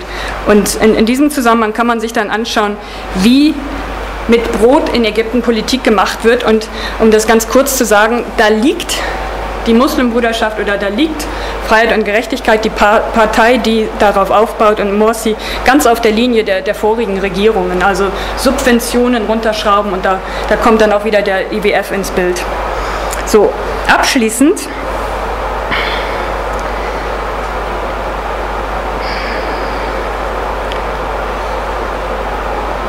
Habe ich noch ein oder zwei Minuten? Nein, eineinhalb. Ja, ich möchte es doch, ich möchte doch, doch noch machen. Ähm, Sie haben vielleicht um Ostern herum mitbekommen, dass ein ähm, ägyptischer Comedian ähm, einbestellt wurde, weil er unter anderem auch den Islam beleidigt hat und Atheismus vorantreibt. Also das war einer der Anklagegründe, aber ähm, im Grunde weil er sich über Morsi lustig macht, wofür es sehr, sehr viele Gründe gibt. Und ähm, in diesem, also dann habe ich versucht rauszukriegen, was denn jetzt diese religiösen Einwände waren, weil in dieser neuen Verfassung auch freie Meinungsäußerung natürlich eingeschränkt wird, wenn es gegen Scharia oder gegen die Prinzipien der moralischen Ordnung verstößt. Und was ich da gefunden habe, ist, dieser Spruch, den Sie vielleicht auch schon gehört haben, also Morsi hat in einem Zusammenhang gesagt, ähm, Gas and Alcohol don't mix. Und er wollte da wohl auf, auf dieses Sprichwort Don't drive and drink hin. Kein Alkohol am Steuer oder ähm, dein Auto verträgt kein Alkohol. Das sind so die deutschen Kampagnen da. So, und der Comedian hat dann daraus gemacht, also der hat sich darüber lustig gemacht, dass, also Morsi ist, hat ja in, in Amerika seinen PhD gemacht, aber sein Englisch ist halt ein bisschen brüchig. Und Gas and Alcohol don't mix. Und dann hat der Comedian gesagt, ähm, dass, dass auch ähm, Religion und Politik don't mix. Und the drunk does not do the driving, the liar ends in the fire and sometimes also the president. So, also er hat, er hat in diesem Zusammenhang dann Religion und Politik und Präsident ähm, als Lügner, Lügner gehen zur Hölle und so. Also in so einer Äußerung ist eben unter dieser Anklagepunkt ähm, Beleidigung des äh, Islams gefallen. Das noch als kleines Beispiel und so als abschließende Frage ähm, an Sie. Hm. Ich habe bisher mit verschiedenen ähm, soziologischen Begriffen versucht zu arbeiten und insbesondere dann aus der Rechtssoziologie und, und auch mit aus der Wirtschaftssoziologie herumgespielt. Mir ist aber bisher noch nicht so ganz klar, welchen eigenen Antrag, äh, Anteil Religionssoziologie haben kann. Also Religion als was als soziologisches Konzept und, und was meint es dann und was, was erklärt es dann? Also, also ich merke, dass viele meiner Konzepte eigentlich von der allgemeinen Soziologie herkommen und und mit der Religions Religionssoziologie als Teildisziplin, die natürlich auf die allgemeine Soziologie zugreift, ähm, da, da, würde ich einfach mal fragen, was, was Ihre Ideen da sind oder wo, wo Sie den Erklärungswert sehen, weil, weil bei mir immer noch so eine ganz große Hemmung darin ist und wir haben über die Definition von Religion ja schon kurz gesprochen. Ähm, wer definiert das eigentlich und was meinen wir damit und was ist es dann als soziologisches Konzept? Dankeschön.